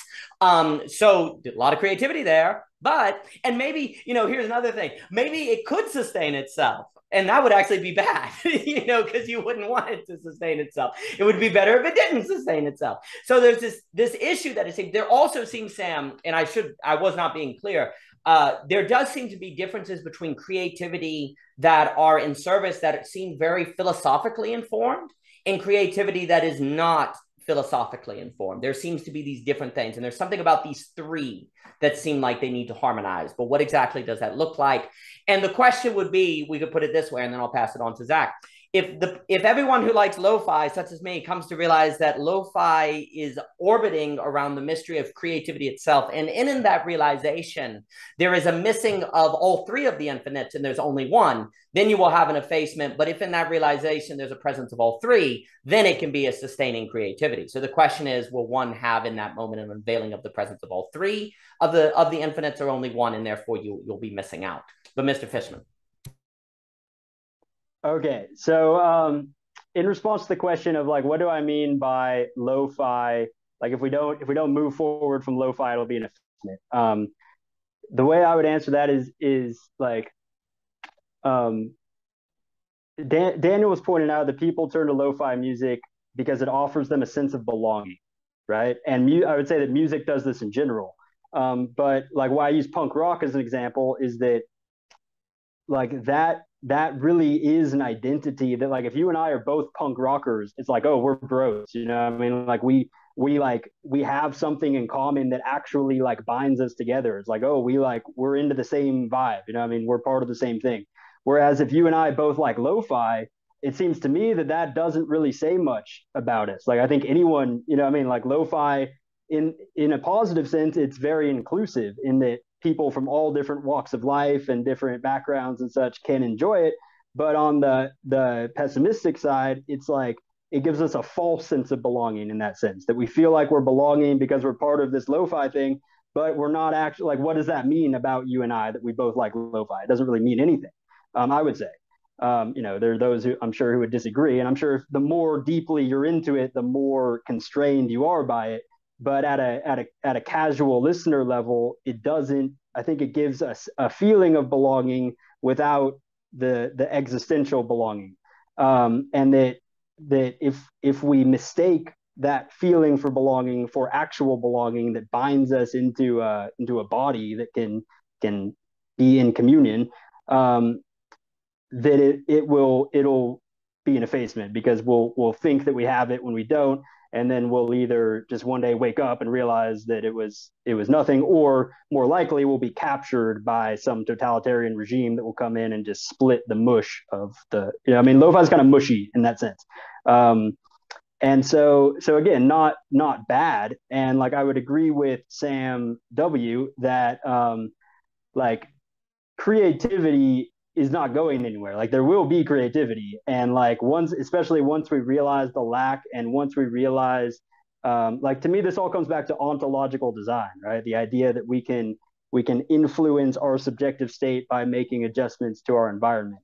Um, once that idea really comes into to uh, the culture, we're going to see this explosion of creativity. But as Daniel was saying, um, like the Nazis were very creative, you know, and and they you want to point to somebody who understood ontological design. Hitler understood ontological design at a deep level, right? The way that the colors and the sounds and the procession and all these things influence the the human subject and and bring us into a particular state, right? That's what that's what religions do. But religion, yeah, I mean, like as Bard would say, everything's religion, and it can go either way. Um, and so, so I guess that I'm kind of addressing two different two different points there, but um, that's what I would say in response to the the two Sams. No, and I should also clarify by effacement. Um, you know, uh, in in our work, we talk about a, effacement not necessarily as like an erasing, but the kind of pathological collapse that can occur if there's a disordered relationship which you know one of the reasons we use the term effacement is because a lot of times people would use negation in like there's a negation that's an erasing but then there's a negation that's a sublation. And we find that we have found that to be a problem because then you know if you're using negation in a hegelian sense it basically always is tied to some kind of sublation or you'll talk about abstract the negation and the concrete well what about like negations that can't sustain themselves or a disorder that seems to be an effacement? So when i'm saying so when I'm saying that there seems to be a clock ticking before metamodern art self relates to itself in a phases, what I mean by that is before it becomes pathological, and that could manifest in sort of the state in totalitarianism and different things like that. Um, I, you know, one of the great mistakes in uh, in, in doing works is that one defines terms in these different ways and forgets to redefine them every single time. Uh, but uh, but there is there is something where art like because the moment like actually to the point like if creativity realizes that it is its own mystery and foundation then it might be like dude we're like god because we can do that. So we can create the perfect state. So we can do anything we want and that can lead to totalitarianism. And i would call that a kind of effacement because then that is disordered. And by disorder i also have in mind st augustine who always says, you know, in his mind, everything that's created is good because God is good. So if he created it's good. Therefore, evil has to be a result of a disordered good. That nothing that exists is evil because if it exists, it must be good. Um, so if there is evil, it must be a result of a disorder of good. So disorder is foundational for privation and evil and different things, and that's why I link it with effacement. Um, but but there is what what's interesting to me as well. This point that Zach is bringing up it is interesting where say if i said oh i like Lynyrd Skynyrd because freebird is awesome or simple man or what about running like the wind with the the, the you know that one always gets me like uh, can't you see is so popular but uh but but running like the wind is so tremendous by that band. Uh marshall tucker i see i'm doing this thing where i'm having a lag now because i'm old where it takes me a minute to remember it and like it takes me 10 minutes. John rutter michael friggin marshall tucker running like the wind is amazing. Or if i were to tell you that i like the allman brothers that 20 minute version of tied to the whipping post where they went crazy on the stage man, that's some that's some great stuff. Um, that says something about personality. That's saying I like lo-fi does not, and that's really interesting. Whereas I don't, I do think my dad doesn't listen to lo-fi, so there is some bracketing that occurs. But it's almost like lo-fi. Telling people you listen to lo-fi just means that you work all the time because you're in modern capitalism and you have no choice but to be at your computer. so there's something where now it's it's funny how lo-fi i am interested it's a little bit of a different topic of how lo-fi speaks to the modern work life. And and what that says on like your like everyone talks about flow states because you're supposed to be more productive at work because there's a way in which flow states you know it's always like nice and happy because flow state you're doing your creative work and the corporations are now like using meaning and flow states and whatever to like you know increase profit margins or whatever so it's it's interesting how everything can be double right everything can be good that goes back to i think augustine's notion of evil is very useful because flow states are good if in the right order but if they're in the wrong order they're disorder there is nothing that can't be bad because everything can be disordered. You can't think of anything that can't be potentially bad because everything can be disordered. But likewise, you can't think of a thing that is necessarily bad because it can be in the right order. This is the revelation of Augustine that I think is very, very important that we've sort of missed. Um, and um, and so you know so the question is what is the order? And that's where for me the three infinites you know the right order is found in the presence of those three. Now what that looks like gets into the details of the thing that one is discussing but one goes to that. Um so it's interesting to think of how lo-fi seems to be losing a certain communal or identity with it, which in some ways could be good because it's more open, right? You're not so like cut off from other people because you like Southern rock and they like the Eagles, and the Eagles are not a Southern rock group, dang it. So get out. Uh, you know, everyone likes Hotel California, but that's not Southern rock. So get away from me. Um, you know, that there's a kind of brag, but if you're open, it's like, oh, lo-fi. Oh, we oh, you like to create too? Oh, I like to create. Oh, there's a connect there. That's really good. But then it's like, create what? What for?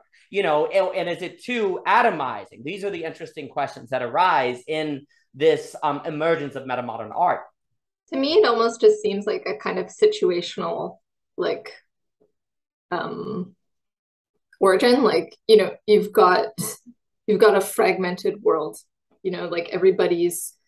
It's like you know, to b- borrow Sloterdijk's term, it's like a foam. You know, rather than a sphere Um, and then you, but you have you have the internet, you have copy and paste, you have one file that can be in a, a million years.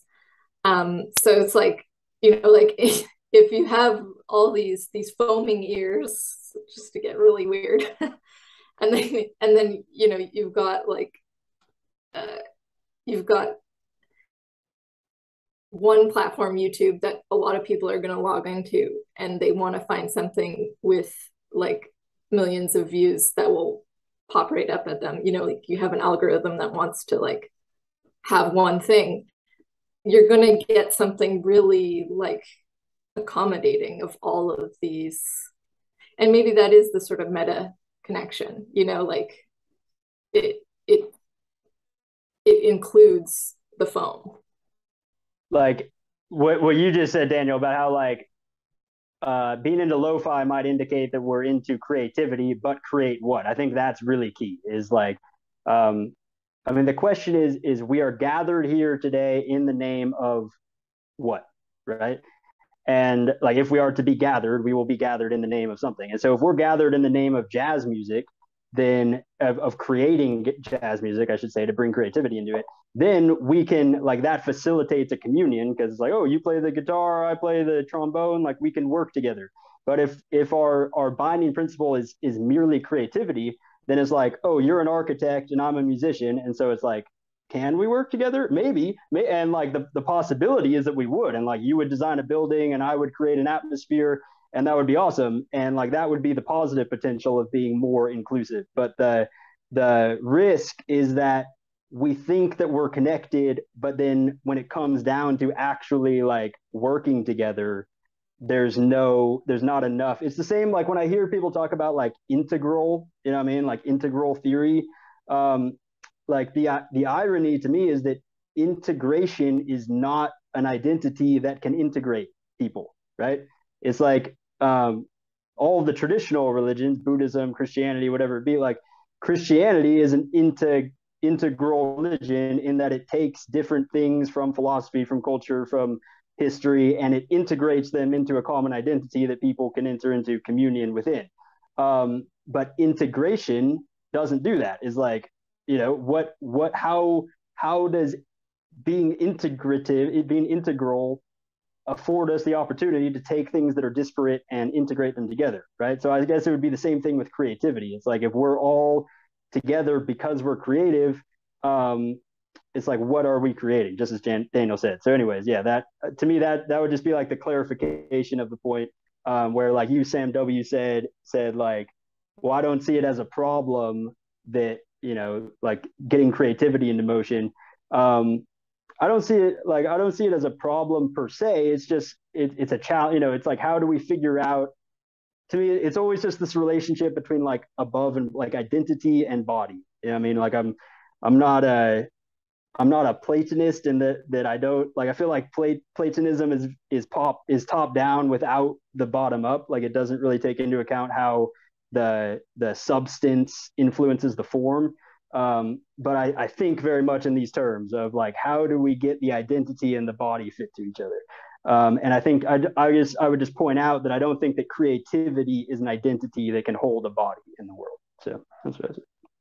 One of the things I think about is because it seems very clear. Um, so we're just going to talk for three hours because this topic is really important because this one really, really fascinates me. Um, and there seems to be differences between, say, creatives who are like super committed to the creativity for sweat sweat blood and tears where when those people say like i'm creative and you, you're talking to those people like that seems to signify identity and a certain sort of yeah i can rely on this person because they followed their art to the point where they've been rejected by the society they didn't take the promotion at the other job and they've paid a price for it then there's the creativity that seems to be the kind of just free association. It's not really restricted. It doesn't have any limit. You're just doing it for fun, right? You're just creating, but it's just fun.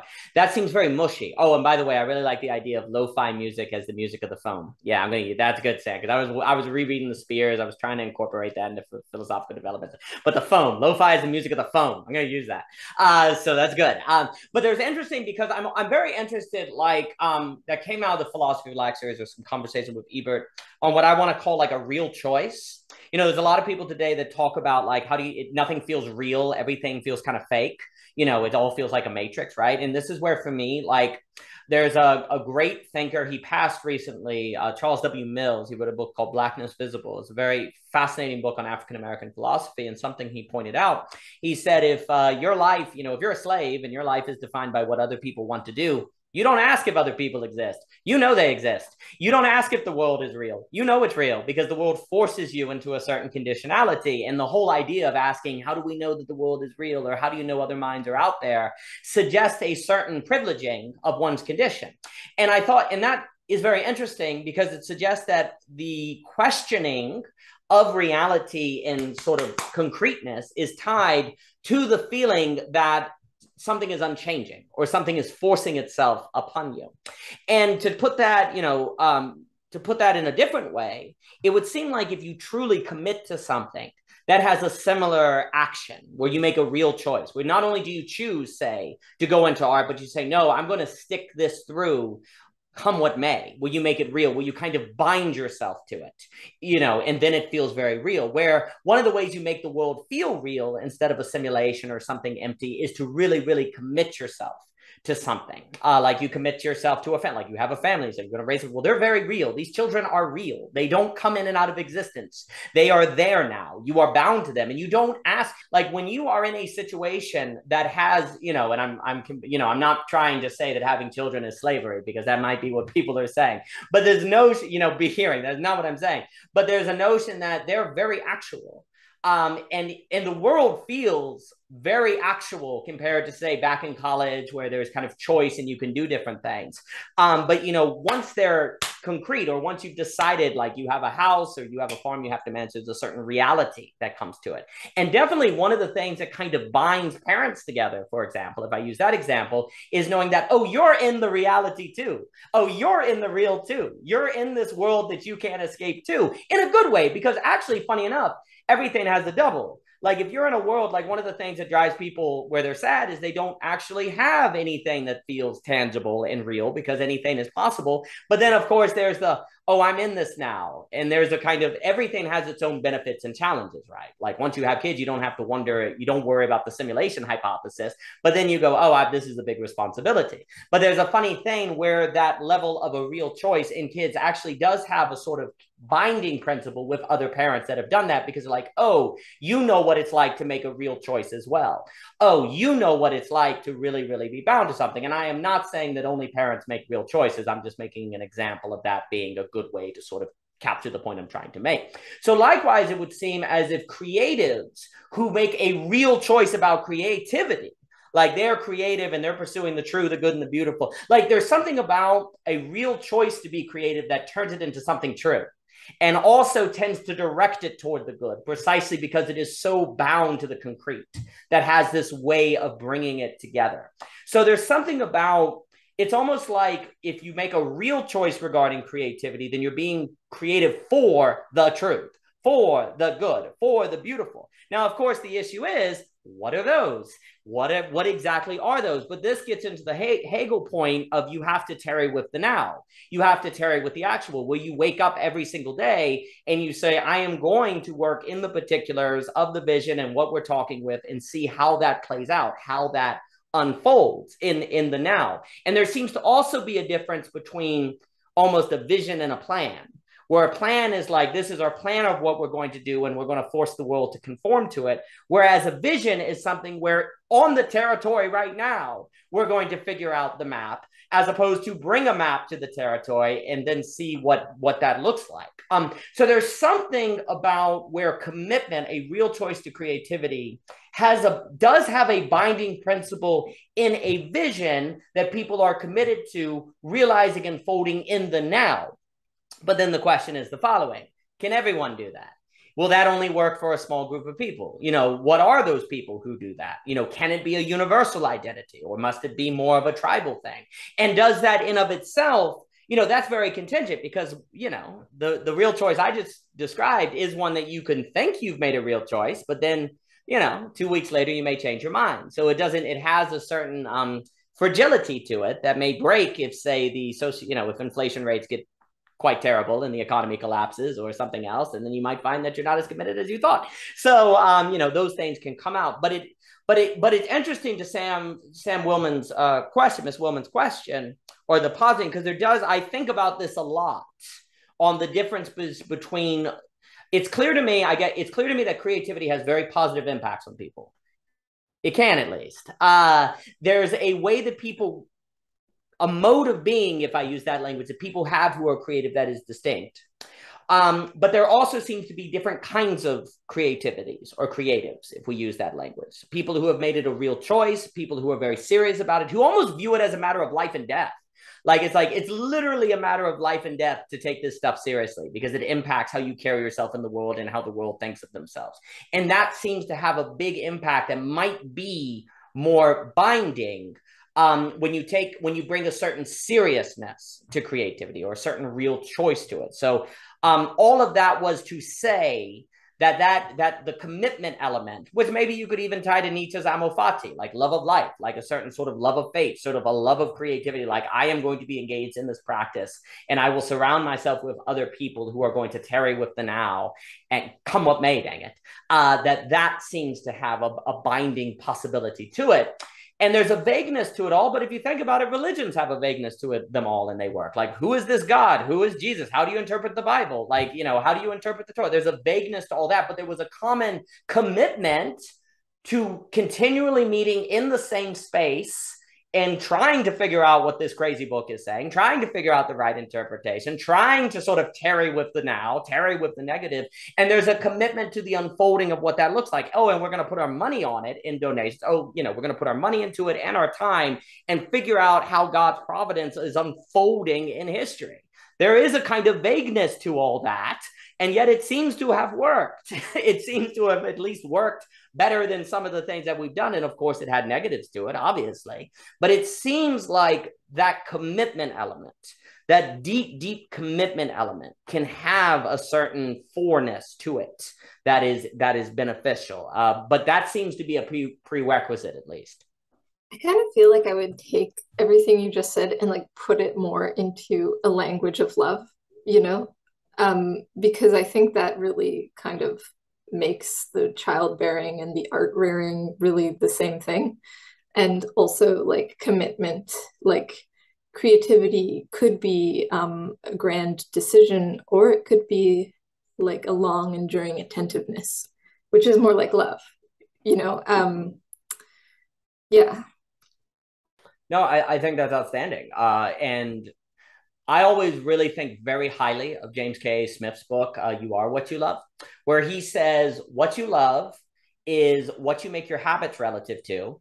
Uh, that what you love is um, forms your habits, and also what you love is relative to the, the daily liturgies that you interact with. So, for example, when you go to the mall, it's working on your love uh, because you know the mall's working on the things you like, which then changes your habits to go into spending, and then you become somebody who goes to the mall in their free time. So there's a connection between liturgy, love, habit, character. So those things all kind of go together. And so religion would create liturgies, which would be spaces of worship. You know, Mr. Fishman has mentioned this, which would then change what you love, which would shape your habits, which would shape who you are. And so there's something about what you're saying, like a certain love of the creative act or loving in the creative or the loving of the daily unfolding that then create people of certain kinds of habits because of the daily liturgies that they engage in that then make them able to commune in, in unique ways. Uh, and so I think love is a very helpful language there. Yeah, and I think it it kind of maybe for me, I think it would clarify the difference between having a vision or having a plan. I think a plan can kind of stand behind action and go to onward in a directed fashion, whereas a vision stands more so it's like the bullshit where the plan is the lie. Like it stands in front of the action and seduces it forward. You know, like when when someone has a vision, they're not going to execute it without a certain amount of like attentiveness and love and um, like a vision only works if it draws. A plan, a bad plan can be really tightly executed, even without uh, love, but a vision could. Maybe I have something to say here. Um, so first of all, like I've I've got this idea from this guy Jonathan Pageau that like he gives a what I think is a good technical description of love, which is that love is the uh, the capacity for union that doesn't destroy separation right so like you can have you can have the kind of union with like an apple when you eat an apple and it just becomes integrated into your body the apple is destroyed right but then there's love between whatever you know between father and child or between lovers whatever it is um, which doesn't destroy it's, it's the possibility for for communion as opposed to union right? Um, with the the maintaining the separation. And so i think i think that's totally spot on to bring that language into this. Um, and i think that adding to this like i also think what you said about vision and plan is really important that like vision um, vision is non-propositional, right? A plan is a is a proposition of like we should do this particular thing. A vision is sort of just like a like we're going this way, you know, is is not is not a proposition that can be fulfilled per se, um, though it does afford the proposition. And so I guess the word that I would bring into this though is name. When when Daniel talks about like commitment, um, it's like yes, religion is vague. Like we don't, you know, you don't have to know what God is to be gathered in the name of God right? But like that, it is the name which affords that whole process of figuring out what God is, right? Because um and and like with love, it's like you can't love, you can't just love, right? You love something or somebody, um, and you don't you don't like do you ever really know who somebody is, right? Like so you may not know who that person is, and yet in order to engage in the the actual act of love, you have to to name that which you are directing it towards. Um, and so to me when daniel talks about like a real choice it to me it all, it all comes down to worship right? Like are you willing to worship in the name of whatever whatever it is? I would like the word i use is god. Um, are you willing to worship in the name of god? And and like the fact that you and I may have different ideas about what God is is kind of the point of the worship, right? Is that it for it's like, hey, like you're saying like we're both worshiping in the same name and yet you and i have very different ideas about what that means and what the implications of that are. Um, and so we need to reconcile that because because we're using the same name in order to uh, delineate our action right? And so to me the the commitment goes hand in hand with name. Um, and that that sort of I, I guess i would i would propose name as the basis of of an identity um, that can can hold a loving communion. Well, that makes me ask the question. So, can creativity be the name of a sustainable and continual worship? Like creativity, of can creativity itself be the name of a sustainable and creative, you know, a, a um, communal worship? I I would say I would say the creator can be the name, but um, like the act of creativity? No because there are as we've been saying there are there are creations which are um which are in keeping like there there are ungodly creations i guess is is the simplest way to put it right? And so like to be creative is not a a delineating principle. Oh sam's leaving. Goodbye sam. Sam you're awesome Samantha Harris. Not that's not uh, not the other Sam Harris. Um, Sam is a great name. We have a very very good collection of Sam. nice collection of Sams. Down outstanding. A communion of Sam. Yes. A loving communion. um, let's see. I don't know. I kind of oh, can creativity can creativity bind us? Um, I don't think so. I think I think the creator can because like that that proposes a will and a like a standard of judgment which is beyond us, right? Whereas creativity creativity doesn't offer a standard of judgment. I guess that's really what it is. It's like I create this and you create that, um, and there's only space for one of them, right? Um, like one of these two songs will be played at the gathering of our commu- of our uh, community so what will that song be and how do we how do we make that judgment i guess is the question. And to me which is the most creative? It's like that's not it's like what do you mean what's the most creative? Like do you mean the most eccentric the most like what do you mean by that right? Mm. um, whereas like to me the word godly like what is the most godly of these two songs? That is something which can be like we can create uh, i don't think you can create like a propositional system to answer that question but you can create an embodied sense of of what is godly and what is not whereas what is creative is kind of like it's kind of creativity is kind of yes or no, right? It's like either you are creating something and thus are creative or not.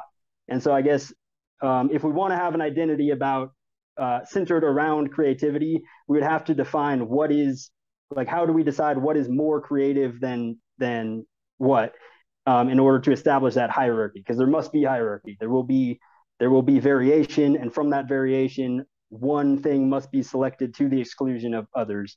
And the identity of the communion is that which makes that judgment. Um, and I don't think that creativity is a standard by which that judgment can be made. That's, that's it. I think like we need to bring the mystery back into it a little bit. Like I think there's an idea in which, and it doesn't a- answer literally what creativity is, but it metaphorically rings true is that creativity is a gift, you know, and it's like a gift of mysterious origin. Um, because, and I'm also tempted in just responding to think of Charles Taylor and his ideas on religion. The idea that like we're actually not less religious, we're more religious, and we're more variably religious and we forget that our religions are or our religiosities are religious i guess. Is, is yeah. Um and i also think like there's been like in in like everyday language use we've kind of shifted our our use of the word god into the word or the use of the word um, universe which is sort of like creation rather than creativity in a totalizing like one sense. Um just yeah. Well yeah i would i would totally agree with you that creativity is a gift and that there needs to be like i i guess what i'm um maybe maybe it's important to separate like the the creative act from like creativity as a quality right because I guess all that I'm pointing to is that like um, in any in any body there has to be there has to be hierarchy. There has to be a, a principle by which you include this but exclude that.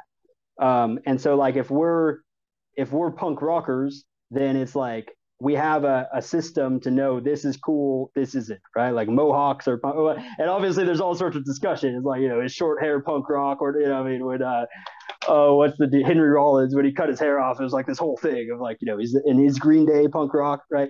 Um, but those questions are what make or break an identity. Is like, do we include this in our group or do we push this away from our group?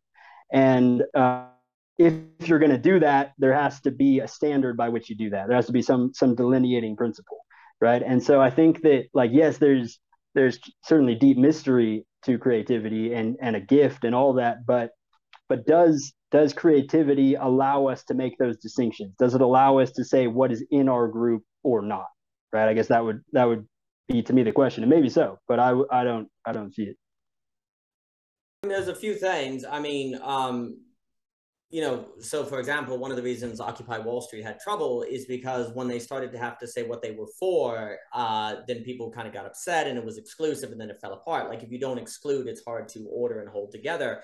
But then if you exclude you're excluding so there's always this sort of tension right? Like you have to like the difference between exclusion and definition is nothing. Uh, like you have to exclude if you have definition. And if you don't have definition then what are you? So there's a problem right? So there's always an, an excluding principle or there is nothing there to be inclusive.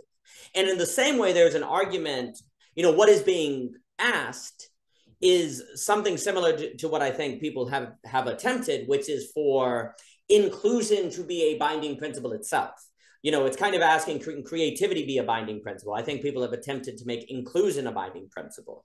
And of course, it seems to not function because then inclusion of it of itself is not a community, but something of which a community does. But that means there has to be a community there to include. It cannot itself be the the community. An act cannot be the state. Uh, and so what ends up happening, there seems to be an issue of can creativity bind? It's like, well, well, that seems like it lacks enough of definition to have an exclusion and an inclusion principle. So then there's the notion of can a creator be a binding principle? And you would say, yes, religions have shown that.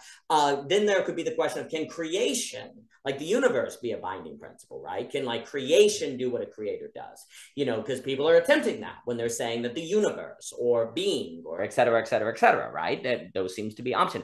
I am particularly, um, you know, it, it it would seem, again, that there is something about the creative act or the engagement of creativity that is incredibly um, important. And I think, I think, you know, one of the things I wanted to say is that before I keep you for another three hours, because you people are fantastic, is that, you know, a lot of times when people talk about where did meaning come from, because we're in a meaning crisis and people see creativity, the question of creativity tied to meaning, they'll say, oh, you know, there was a monkey and there was a bush that rattled, and it meant there was a um a, a predator, and so they came to say, you know, moving bush equals predator, run. So that was the origins of meaning, and that's where meaning came from, you know. And and today we're basically always trying to figure out what things mean, and therefore we're looking for meaning. And so that's kind of the evolutionary history of where meaning came from. Yeah, I don't know. Um, I think you know maybe the a shaking bush could be the suggestion of the birth of the signifier signified. You know, if you want to get onto that, but meaning is kind of different because meaning, say, religious meaning transforms the meaning of everything. It's not bound to say just a shaking bush that then means there's a predator. Like literally, what that bookcase there means if God exists is different. Like everything in creation gets a new color that is not contingent upon a certain linear cause and effect of an object, meaning there's a predator. This kind of meaning, I don't think, is what I think, because when we're talking about art, like there's this interesting thing is like when you're weed eating and you put on the music, suddenly you're freaking at Helm's Deep. The meaning of the weed eating transforms relative to the music, right? The meaning of it, the meaning of the action, what is going on transforms. So likewise, like when people engage in art, it has a way of training you to engage in the world as if any given thing is part of some sort of potential cosmic picture, if you will, pointing from itself, not just a rattling bush. Um, and so it would seem that art actually has a lot to do because art and creativity is unique in this sort of creation of eyes, as opposed to just an association of a, of a shaking bush with a predator, right? And so when we talk about a meaning crisis, I think it's important to realize that we're not talking about the loss of the ability to tell that a shaking bush means that there's a predator. We're talking about the loss of the ability to have eyes by which to see things being part of something. And so this is what kind of happens. Creativity in of itself suggests that there's the possibility of working things into a framework. But if you don't believe in a creation or a creator, then you don't necessarily know if your creation is moving things into a framework or aligning things with a framework. And so the question is can you believe just in the creative act that you are the framework in the creative act? And is that sustainable? Some people, maybe it is. Some people, it is not. The second option would be well, what if there's like a creation like the universe that's not necessarily conscious, but there's some sort of cosmic order that is bigger than oneself, that is more complex than a mere reductionist materialistic picture, and that that is what one is creating toward? Is that going to be sufficient to have a sustainable identity? Maybe, maybe not. Maybe for some people, maybe not for other people. And then the next would be, well, what about belief in a creator? Kind of like universe plus consciousness, if you will, right? Or universe, like, because then you have to get like, what would be the difference between creation and creator, right? Is it the presence of some supernatural consciousness? Or is it suggested that there must be a supernatural consciousness in order for creativity to have um, this beneficial uh, function? Maybe for some people, maybe not for others. Um, it seems to depend. Something I will say is, regardless what's of those three options that we are pointing to because of the beauty of lo-fi music. Thank you, lo-fi music. Uh, you know, there is there's something about where I want to say, even if creativity is not in of itself sufficient. I I have gradually over years been convinced it is necessary. There's something about it that is necessary, even if it is not sufficient. That seems to be what's kind of interesting to me. Is even if we could say the creative act in of itself is not able to be its own grounding for whatever reason, maybe for some people or not, there is something about it that seems necessary in the way that it makes a person carry in the world. So maybe that's a a point we can frame on the, the the the sufficiency of it may be debatable, but maybe there's agreement on the necessity of it in in someone's life. That would be something to consider. So on that distinction between creator and creation and creativity, um, like the the question was raised can we be towards creation, right? And I think that you can, but you get the myth of the the eternal return, right? Because creation is at, like creation is patterned, right? And so if you if you just worship creation, then you like you get you get nature worship. You know, I mean, you get pulled into you live towards existing within the cycles of nature. Um, but in order to have a, a, phallic vision in order to have like a line through that circle to move history in order to have history you have to have some sort of creative some sort of self or not maybe not self overcome but you have to have some some means by which nature can overcome its current state right and you can't bring that back to nature because then it's just part of the state and so if you are to to suppose that creation could be other than it is then you have to be towards the creator rather than creation itself. Um, and then, yeah, and, and uh, you know, I'm going to reiterate myself, but I think creativity, uh, you can't be towards creativity because creativity could be aimed in any number of directions, and so you're not really towards it, right? Creativity is is the act of of doing something towards your goal, but it can't really be the goal because it is the act of moving towards a goal. So, um, yeah, I would I would agree with Daniel that uh, we should worship the Creator. if that's if that's what you're saying, but that's what I'm saying. Well, the, the question would be if so. There's a notion of creativity as either toward creation or toward creator, right? There is a no a notion is posited that creativity needs to be toward some sort of mystery, either a mystery of creation or a mystery of creator. There is a notion that creativity to sustain itself must ascribe either to a creation that is integrated into its very essence, some kind of mystery, part of its very essence of what is creation, or it needs to be toward a creator that is in his or herself, you know, then we would go through the religious traditions potentially of that sort of mystery right? So, what is this? Because this is interesting, because then this almost gets into practical questions. How does one practice in their daily life, organize events, create institutions, carry out families, etc., so forth? What is the nature of the practice when one is creating toward a creation of mystery versus someone of whom is practicing and in that practicing creating toward a creator of mystery. And by mystery, I'm using it as we've been using it in this conversation. What are the practical differences?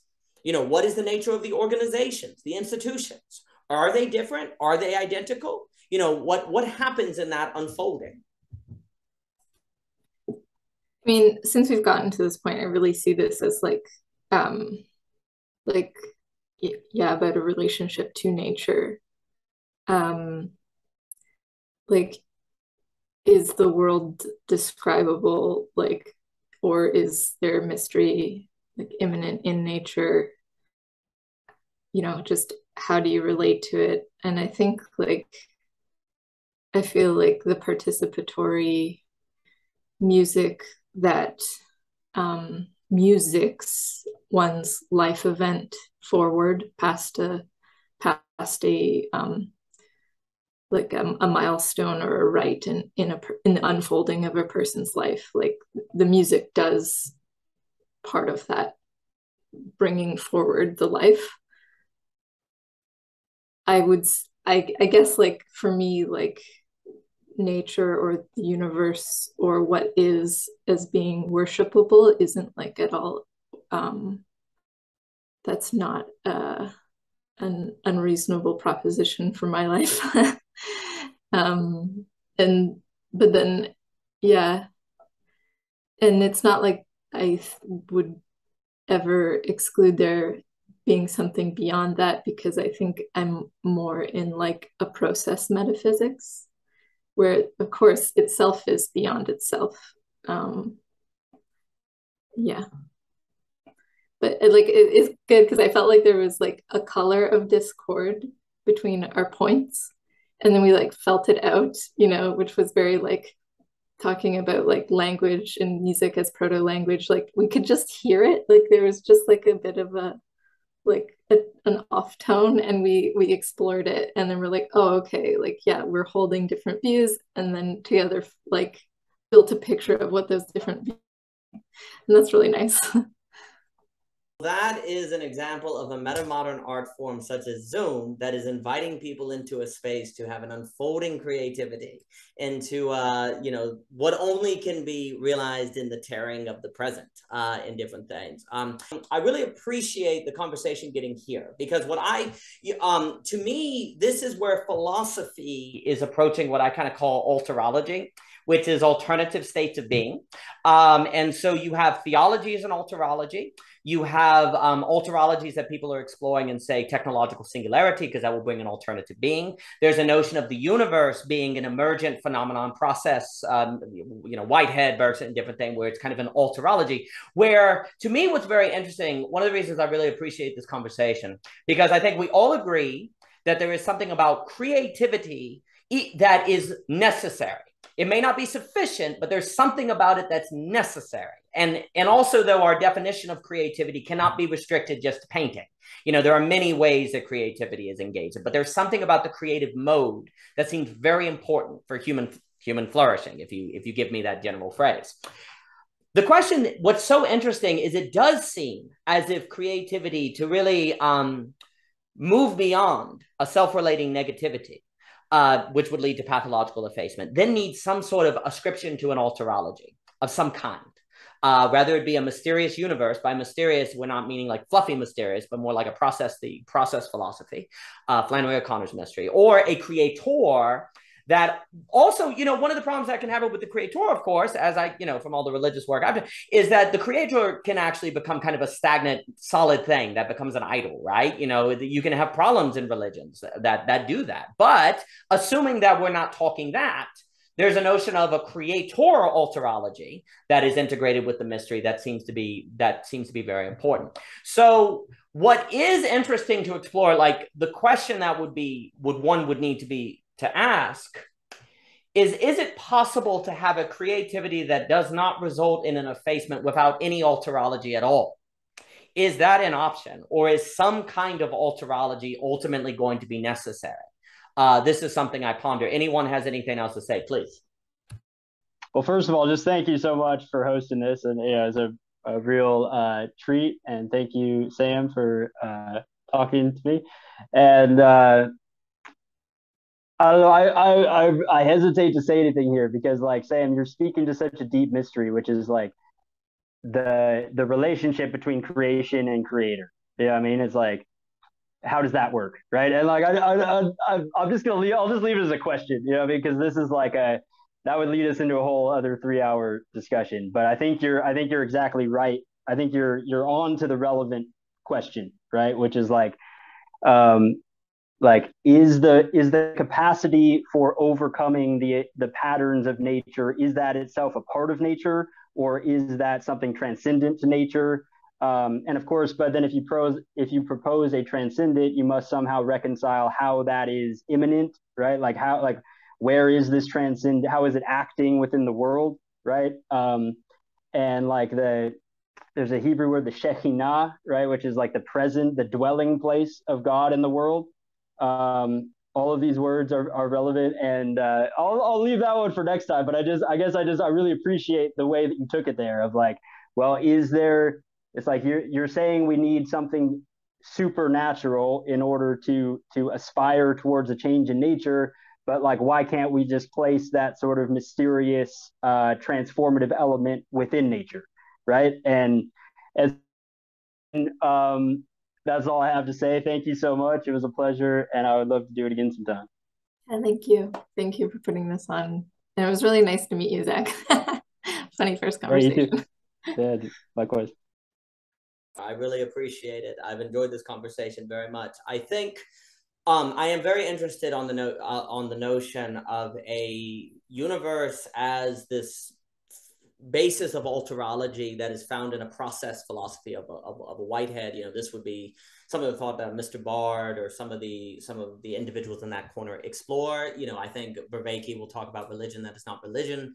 Uh, there are these kind of possibilities of new sources of meaning that are a more um, complex understanding of the universe as a foundation for alterology than say just nature worshiping when I was uh you know in Fern Gully or something like that. Even though Fern Gully was a great movie in 1994 when I was sick, no one no one questions Fern Gully. There there there is something about a universe that is that structure that seems as if it's integrating with mystery and therefore has a unique foundational principle.